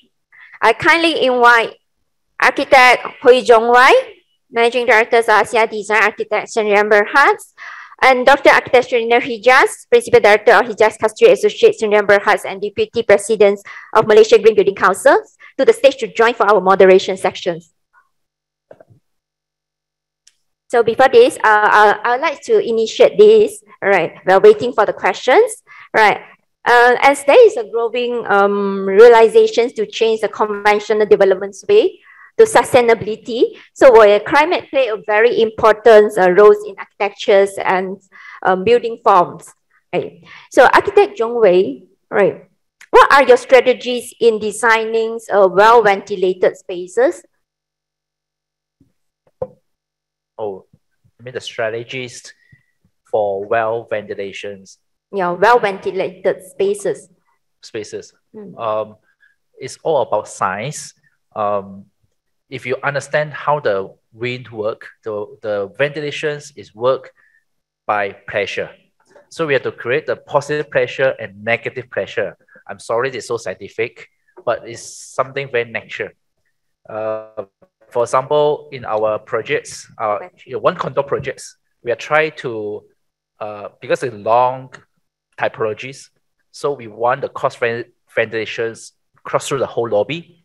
In order for us to do that, then we have to create a big gap and small gap in between. Um, so we we are active, I mean, purposely make uh, create the pressure uh, for the wind so that enough momentum and energy to pull the wind in the inner core and then um, and then they flow through the whole corridors. Uh, if we if we if we notice nowadays a lot of condo uh, they put the staircase in end to end. Actually, this is something not so friendly to ventilations because we block the ventilations. Mm-hmm. Um, in one of our projects, actually, we we successfully designed the staircase inside the building, high-rise building, and we leave empty to the side by side. It's simple ventilations. You just need two opening, end to end. Then you can create the cross ventilations. And if you understand how the pressure works, uh, then you can create uh, ventilation as well. well. So these are strategies uh, we, we always use. Very good. Thanks for the input. Yeah, very technical.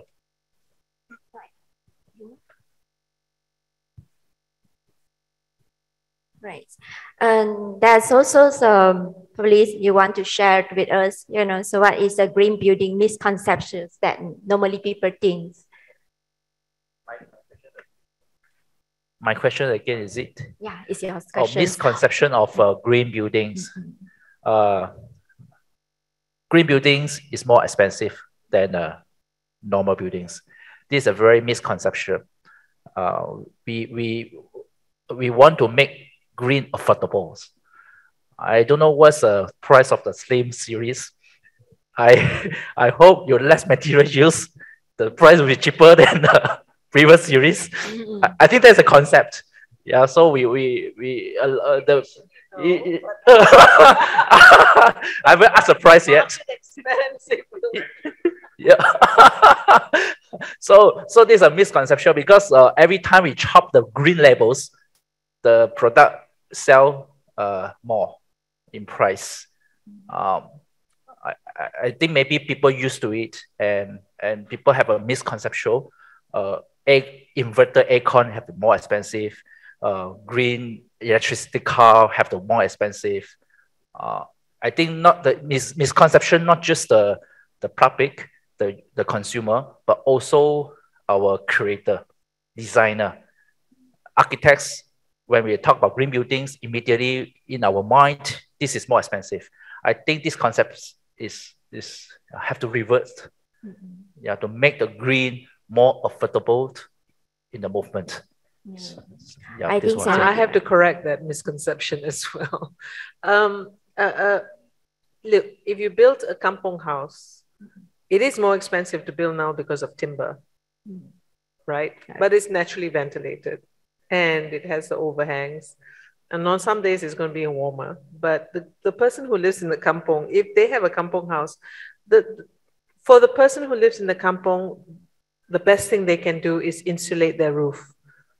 And that'd be the only cost that they'd have to do because to keep their um, shelter cooler.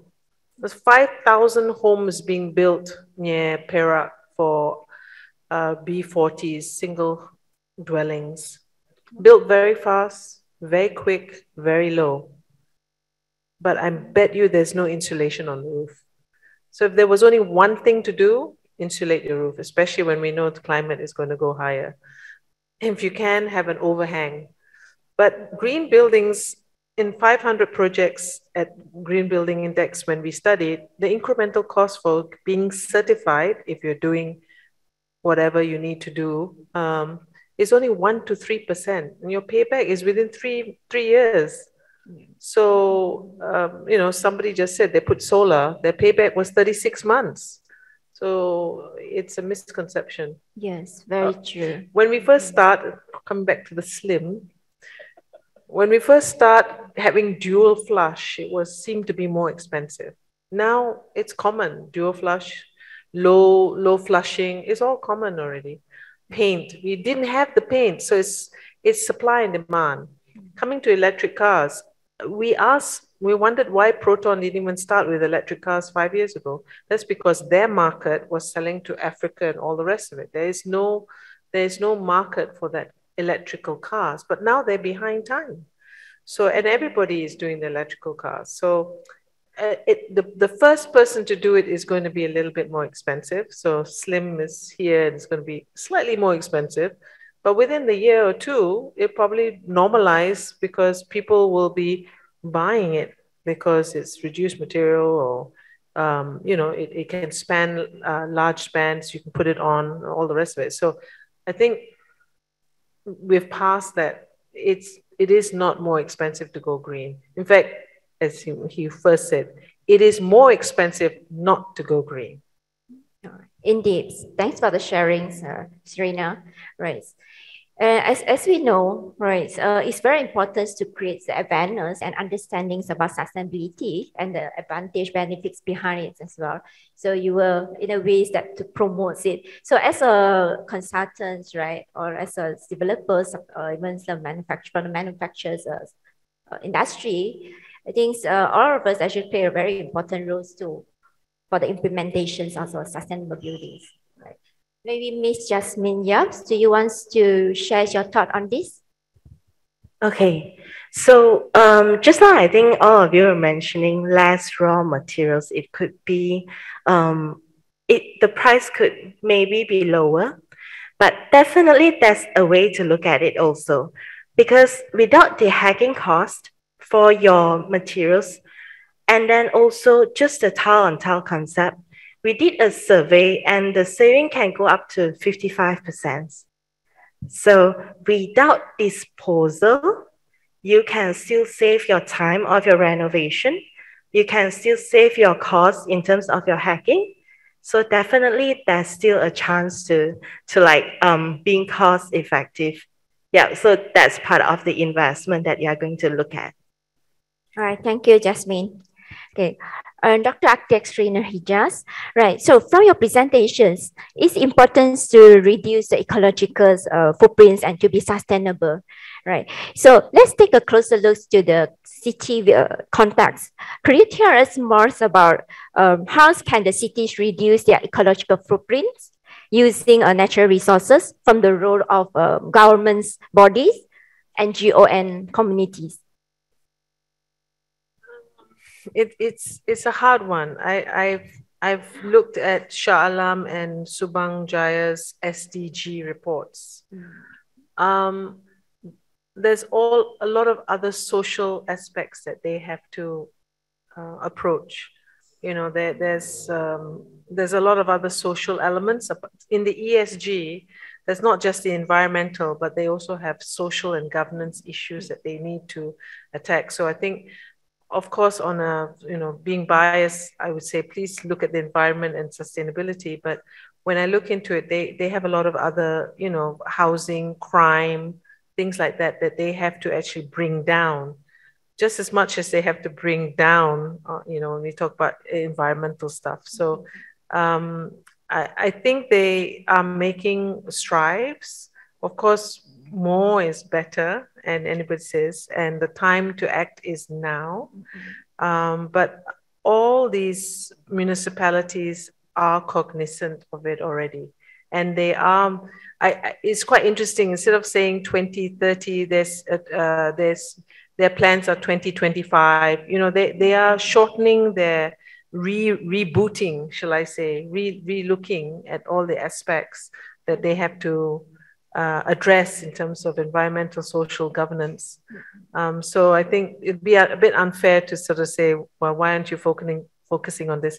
There's a lot of incentives. I mean, Penang is striving, and I think Johor as well. We had the two mayors uh, talk about um, what are they doing, you know, in terms of environmental. Um, so they they're trying to give incentives to the developers, you know, by I sometimes it's higher plot ratio, Sometimes it's reduction of tax. If you're a green building, uh, green development will give you incentive on your tax. Uh, so, and then they're going to tax on waste. Uh, interesting. So it's a bit like reversing things uh, where they don't have to do too much, but give some incentives or disincentives in order to get the the industry to move in the same direction. That's what they're doing.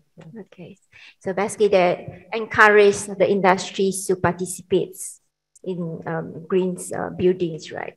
So, right. So would there be any um, futures or collaborations between the public and private sectors?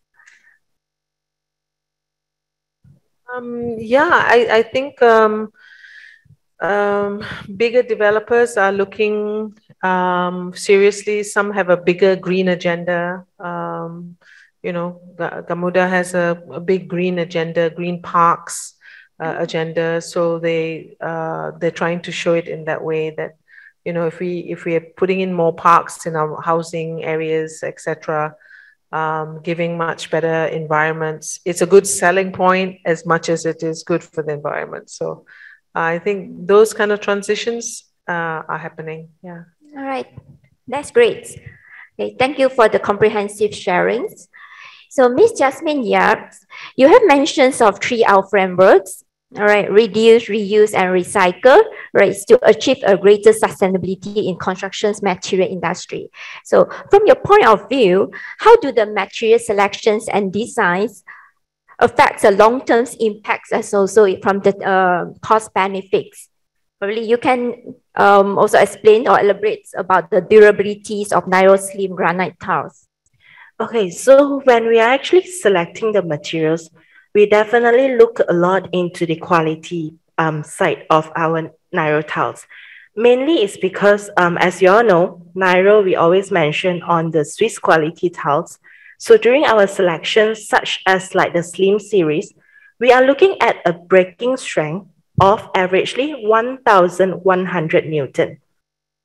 So 1,100 Newton, when we are talking about commercial indoor or even residential indoor, when you place it on a tile on tile, it is still durable enough for you to use. So not only it's thin, it's still durable. Yeah. All right, thanks for your sharings. Can you use it not tile on tile? Yes, definitely. So let's begin with the first questions. Do you have any question from the floor?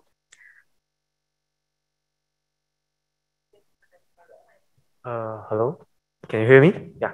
Yes. So uh, I have one question for Architect Axxu, which is since you said that GBI is like so important and you are an educator yourself, so I think that is it possible that we implement the GBI standard inside the student educations like studio? Like it's like one of the mark assessment, the GBI standard. because you see the green building is like uh the sustainable for it's like for the future and then we have fire safety so it's like kind of like a safety for us in the future GBI, you're talking about GBI yeah. only yeah? not only GBI like some kind of mark assessment mark assessment. Green green building assessment or yeah, tool or okay. something. So, so we don't focus on GBI. Okay. Uh, well, thank you for your question. So uh, is uh, shall we put this as an assessment, part of the basic assessment for studio in the school? Uh, I teach in Taylor for nine years. Um, I'm also one of the uh, one of the lecturers who initiate the green modules in, in the university. Uh, yes, every studio they put this is uh, one of the basic criteria of marking, uh, but I, I don't think uh, this is the only thing we look at in the studios. Uh, personally, I'm very against to put a marks to check how many footprint you you in your building, and then we give you a mark in the studio. Uh, because personally, I I think all these assessment tools is keep evolve. You see, even though green mark, GBI, or green RE, or there are many assessment tools in the, in the industry. So which one we have to follow? This is an argument in, in the academic. First thing. Secondly, we don't we don't limit the students on imaginations because there's many ways to toward green. There are many perspectives to toward green. So we don't want to make it as a assessment tools, like a checklist. It's very dangerous if we use, let's say, for example, GBI as a, our checking uh, criteria because in the future, the student will lack of independence, uh, uh, you know, thinking. They just follow a checklist. Then you will blindly lead by if something is wrong, you just follow. So uh, I think I, I, I discussed these questions to one of the architects, pioneer architects, uh, Dr. Ken Yeang. Um, you see, nowadays we have too emphasize on all these data and numbers and end up right, all the buildings eventually look like same. Even though computer can design for you nowadays, the OTTV, where's the wall window ratios. Actually, if you just follow that, all the building will be very simple. Then is that the world that we're looking for? I don't think so. We, we, we, we want to train our student in these directions. But the awareness, yes. Knowledge, yes. This is my uh, answer. Maybe Dr. Serina.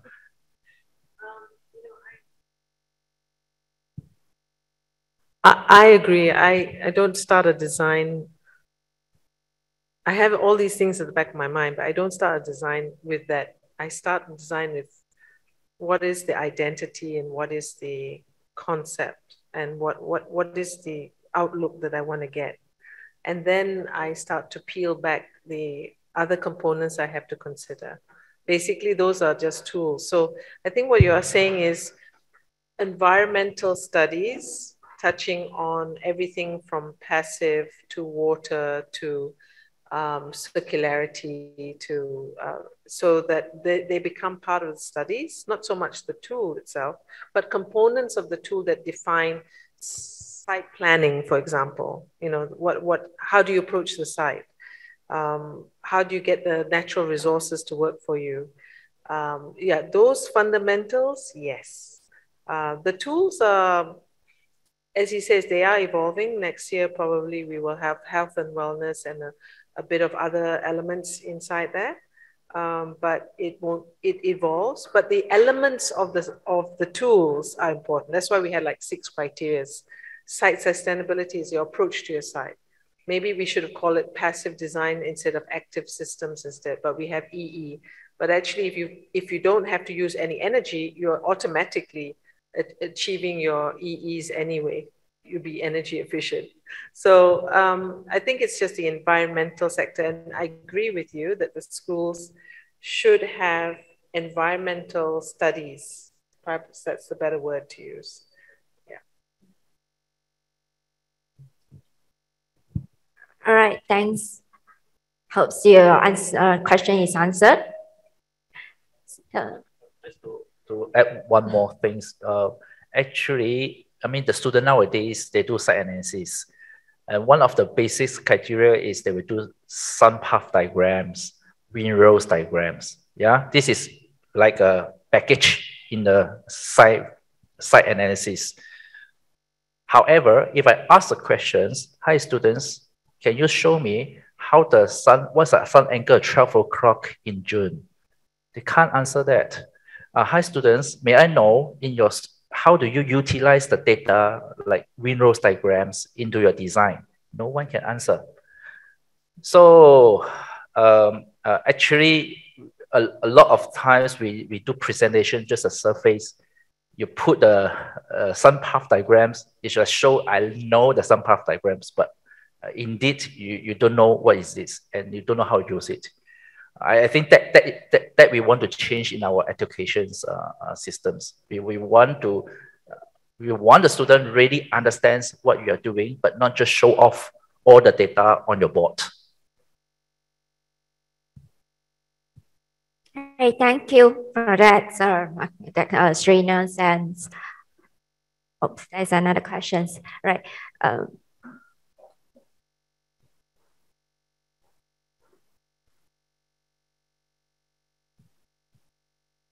good morning. Uh, I have a question for both our architects. Um, it's always awesome to have a lot of greens around the building because it you know lowers uh, ambient temperature, increases oxygen to the atmosphere. But when you have a lot of greens, you will also have a lot of mosquitoes. Even if you do not have stagnant water, mosquitoes will still breed amongst the plants, especially if you have dense planting. So how do you overcome the problem of mosquitoes when you really would like to have, you know, dense planting around your building? Thank you. Thanks for the questions. Maybe can I, yeah. Um, what time of the day do mosquitoes come? So they come twice a day. No, it's true. It, they don't come all the day. They come. They, they come at specific times. Um, I don't know. Our experience um, um, at Rimbun Dahan is that we have grass and the trees are a little bit further away. Uh, they give the shade, but we don't have any high bushes or bushes close to the house. We actually push them slightly to the perimeters a little bit. Um, so strategic planting, you're right. Um, we we definitely have a mosquito issue generally. Um, in Singapore, they breed they breed specific mosquitoes. They have tempered with the mosquitoes. Yes, they have. Um, so uh, that's happening in Singapore. Um, but um, planting has to be a bit strategic. You're right in the tropics. We have whilst we want the shade, so it's not so much the big trees that are actually bringing the mosquitoes, it's the shrubs.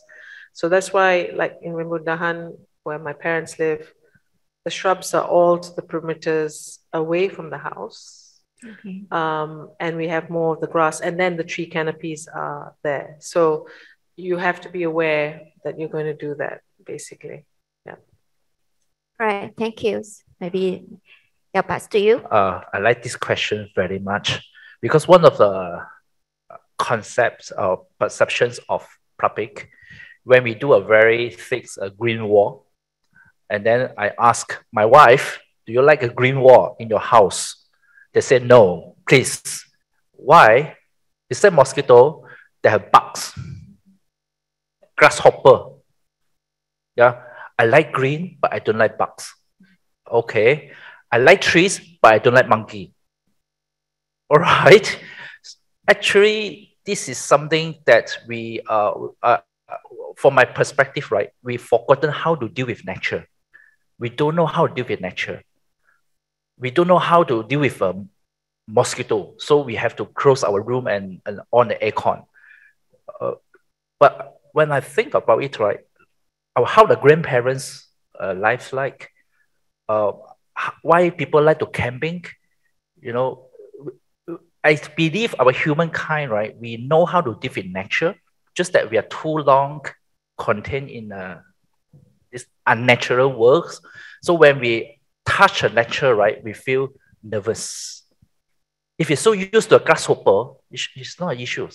You're so used to the bugs, right? It's not an issue. It's just part of your life part of the environment. Uh, just that we are too protective since young. That's what. Maybe, maybe, maybe we will in the future have to adopt putting mosquito screens.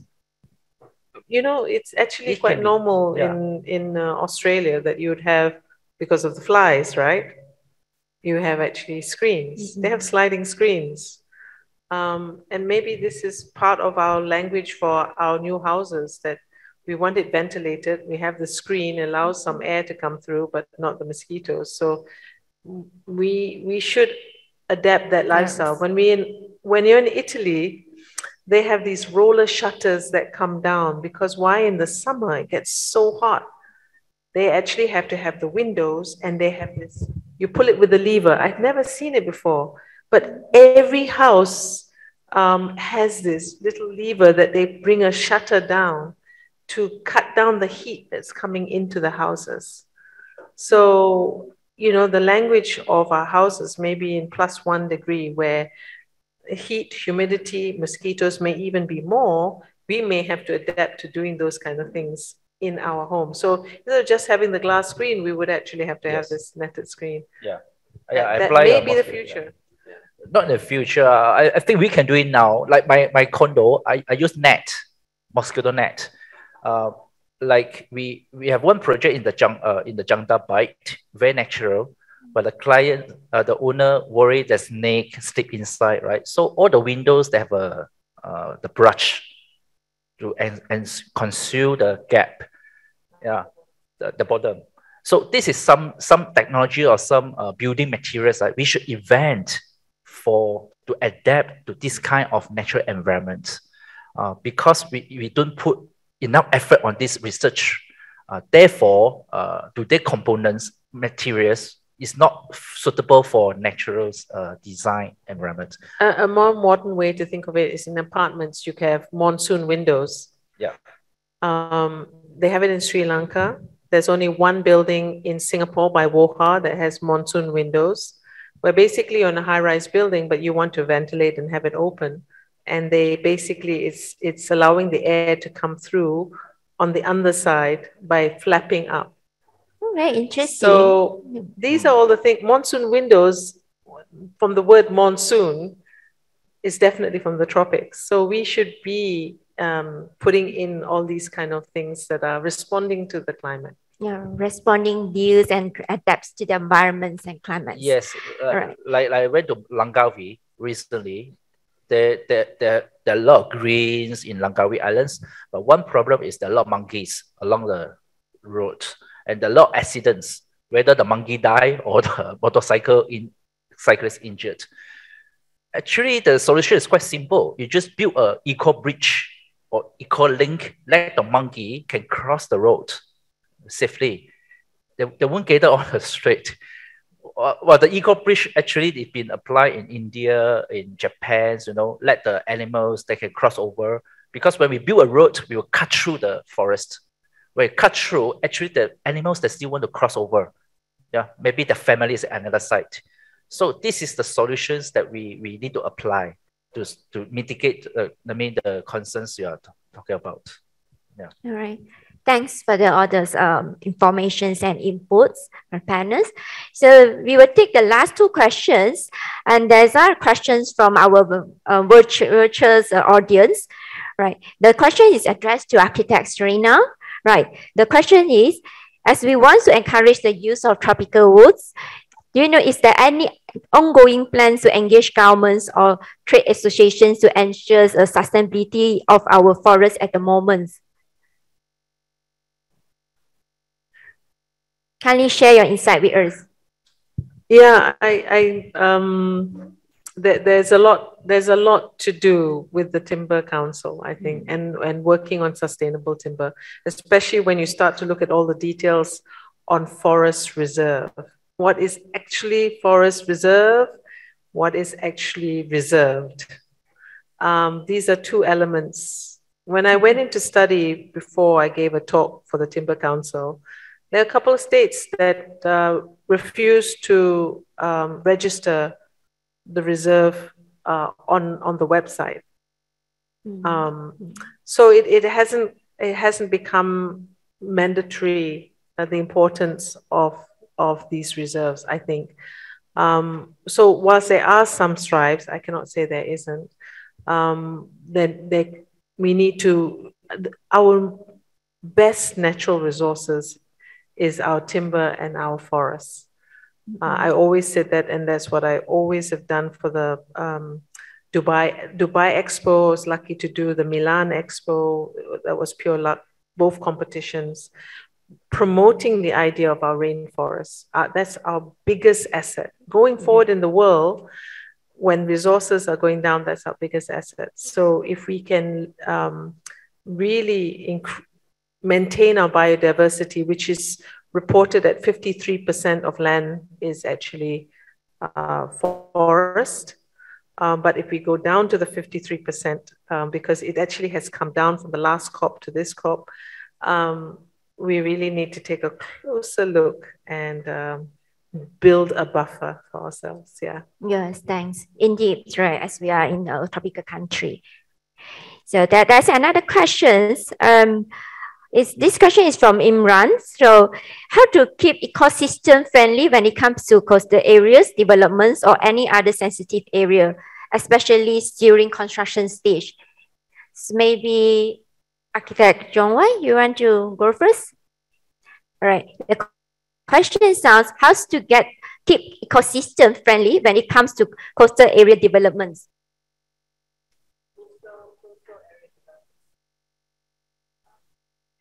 Yeah, by the sea. Yeah. Um, you know it, it, you know there's a fantastic website that you can go in and it can show you what happens at 1 degrees 1.5 degree. It shows how much water it shows malaysia where how much water will be coming. All in the area of bayan lepas and all the rest of it because it's pretty low lying. Um, when when we're doing psi we have to plan for 150 years ahead. The platform levels are already at the 1.5 degree or 2 degree change basically we had to lift up the levels um, to mitigate that. And then the second is the swamp area is a great protection to your coastal line. And so basically keeping this green belt of 20 to 30 meters around your perimeter um, is the best way to basically mitigate the climate change. Um, so whilst we've had these kind of setbacks, you know, you can't help that you want to have the hotels in the front, but I think you have to look at the densities. I always say the densities should be lower in the front, higher at the back. Mm. But where when you're in Hong Kong, obviously that's not possible. Mm. Uh, and if you're in Singapore, you can almost say it's the same thing. And Penang is the second Singapore, if, if I was to sort of say, of 20 years ago. It's going down that way. So um, I wouldn't be building really high rise right on the waterfront. I would be pulling them back a little bit from the edges. But yeah, you, you have to make sure you've got proper riparian and basically in New York City at at this time, they're building something called the Big U. Mm, yeah. And the Big U is designed to mitigate flood and water rise. So they're in the construction of that because they estimate uh, what's going to happen. It's, it's mm. under construction at the moment. Mm. So cities like Bangladesh, um, like what we've just been seeing from Pakistan, from the, the rain and the floods. So you just imagine those kind of floods happening in Pakistan. Unfortunately for them, the construction of the buildings are lightweight, and so they get mm. uh, moved. Uh, we we build a little bit harder, but we can expect more of that happening yeah. for us as well yeah, especially um, the soil nearby sea is also considered softer, right? It's probably not suitable to build a high-rise building. So, uh, okay. Thanks for all the questions and answer. Let's have another question from our architect Asli, co-chairman of Education Committee.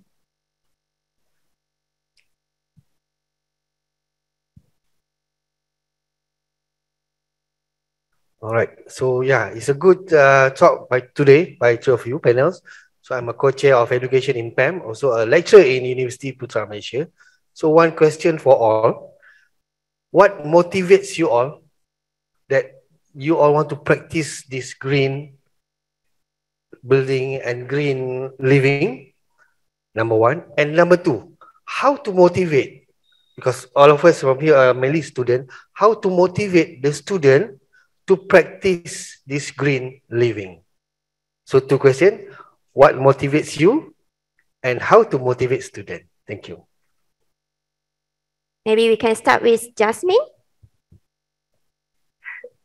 Okay, so what motivates me is that um, I think in NIRO itself, all of us know that uh, we have came out with our tile revolutions. We also have our slim series nowadays. So we can see that our customers coming in to ask us, their, their preference today are slightly different from previous. So that motivates us that we know that our series that we are going to launch, it has to go that way uh, to, together with them. That's why we are flexible to adapt along with the, the trend. So that motivates us.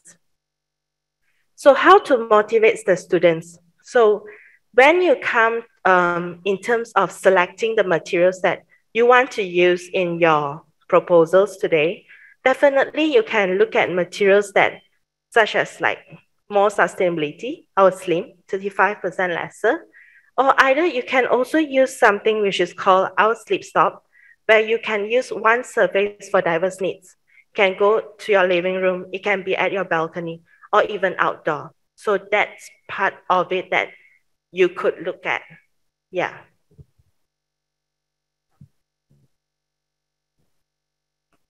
Uh, my first job was, was with Sir Norman Foster's. Um, and they were already doing green buildings. So I didn't want to come home and work with my boss. I preferred to work with Sir Norman Foster because um, it was cheap. It was uh, very, very hard. Um, I worked um, five months every weekend. Um, but I learned a lot and it was like, you know, wow, this is a great place to work. So for me, it was, and they were doing green buildings already uh, there. And I, that's when I came back when we worked on the Telekom Malaysia building. Um, so um, I guess it was, you know, really interesting place um, and really good stuff happening and really relevant. So if that is not um, exciting enough for this generation, then I don't know what is. Because for me, it was, you know, we were doing interesting glazing and um, exciting buildings. The forms were interesting, all this sort of thing. So I think um, appeal is one. Uh, I mean, uh, and now it's really ironic. I, I mean, I was doing more technology based buildings. Um, I probably still like a lot of technology based. Mine, ours is about transparency, light, uh, things like that. That's why Securities Commission. But um, the ecological thing, I mean, my mother was in WWF. I, you know, I knew she was doing trees, but um, it's only sunk into my head right now about um, the importance of trees. Or actually, I kind of knew, but um, um, probably as I'm getting a bit older, I'm deciding that uh, trees are more important than anything else. But um, so yeah, I think it's the environment. Uh, so if, if you're lucky enough to go and work with somebody who's doing green that seems exciting, um, you know, people are going to gravi- gravitate to that. That that's for the young people. I, I wish I could tell you the story that it's because of my future generations and all the rest of it. But I guess it just grew the passion for doing the right thing and seeing that something good can happen um, came out of it. Yeah. Right. Thanks. Um, well, I work with uh, Dr. Ken Yeang, not Norman Foster. This is my first job during, during my intern and my part one. Uh, because Dr. Ken Yeang is the most famous green architect in Malaysia and also the world. So I want to learn what is a green buildings about. So during my time like you as a student, I still don't know the how important is it. I just thought this is just one of the design style. Yeah. Um, then I learned from him, and then I went to Edinburgh, and then I work in London. And then I see something, I smell something. Uh, the whole world talk about sustainable design but our we do not have a proper education on sustainable. No one tell us what is a sustainable systematically, structurally. We learn from uh, this architect, we learn from that guys, we learn from the book. So I decided to further my study in NUS Singapore. Uh, they have a sustainable master degree. So I further the master, and then we have a lot of research uh, program. And, and since then, I see all the figures, all the truth, all the data.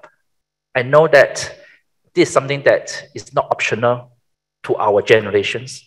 It's not optional because it's really it's a problem to all of us. I want to do it. I keep doing it. it is because uh, I want a good life. I think every one of us want a good life. Do, do we want to, to live in the polluted Kuala Lumpur? do we want to live in the high carbon P, uh, P, PMI 25, you know, 400 P, uh, PMI uh, environment, or we want to live in some way is green, some way is natural, some way is healthy. That is what I fight for. And I keep teaching it because I know with my own self, I can't change the world. But with young people, I teach nine years. I do the calculations. I, I sharing this idea for almost few thousand students. Few thousand of you can make change. Therefore, we keep doing the education we keep doing research on that. How to motivate the young students is simple. 20 years later, it's not our time. It's your time. You are the one who live with 80 billion people in this planet. You are the one who are facing your lifestyle. We already enjoy our lifestyle. We have our big house. But your time, you don't have a big house. You have a big swamp area. But you is pigeon, pigeon house. You is the one who, who fight for your future, not us. We are here to, to tell you the truth, to share what we know, and it's real things. We are fight for surviving. Uh, therefore, we, uh, this is the motivation. Every time we think about surviving, we think about my kids. What's the future like? Then I have to wake up in Saturday morning for this talk.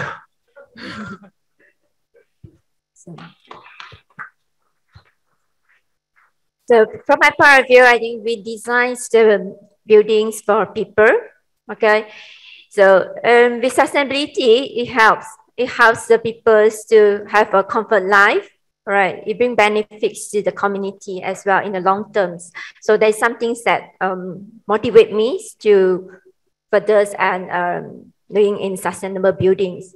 So for the students, I think something that motivate you, it probably is your future generations, right? Think about your kids, right? There are someone who going to benefit from what you are going to propose to them. Okay, thank you very much all. So now, ladies and gentlemen, that would be all for our Q&A sections, right? Thank you all for the informative and interactive sections. It was indeed fun to address all the interesting queries from our participants.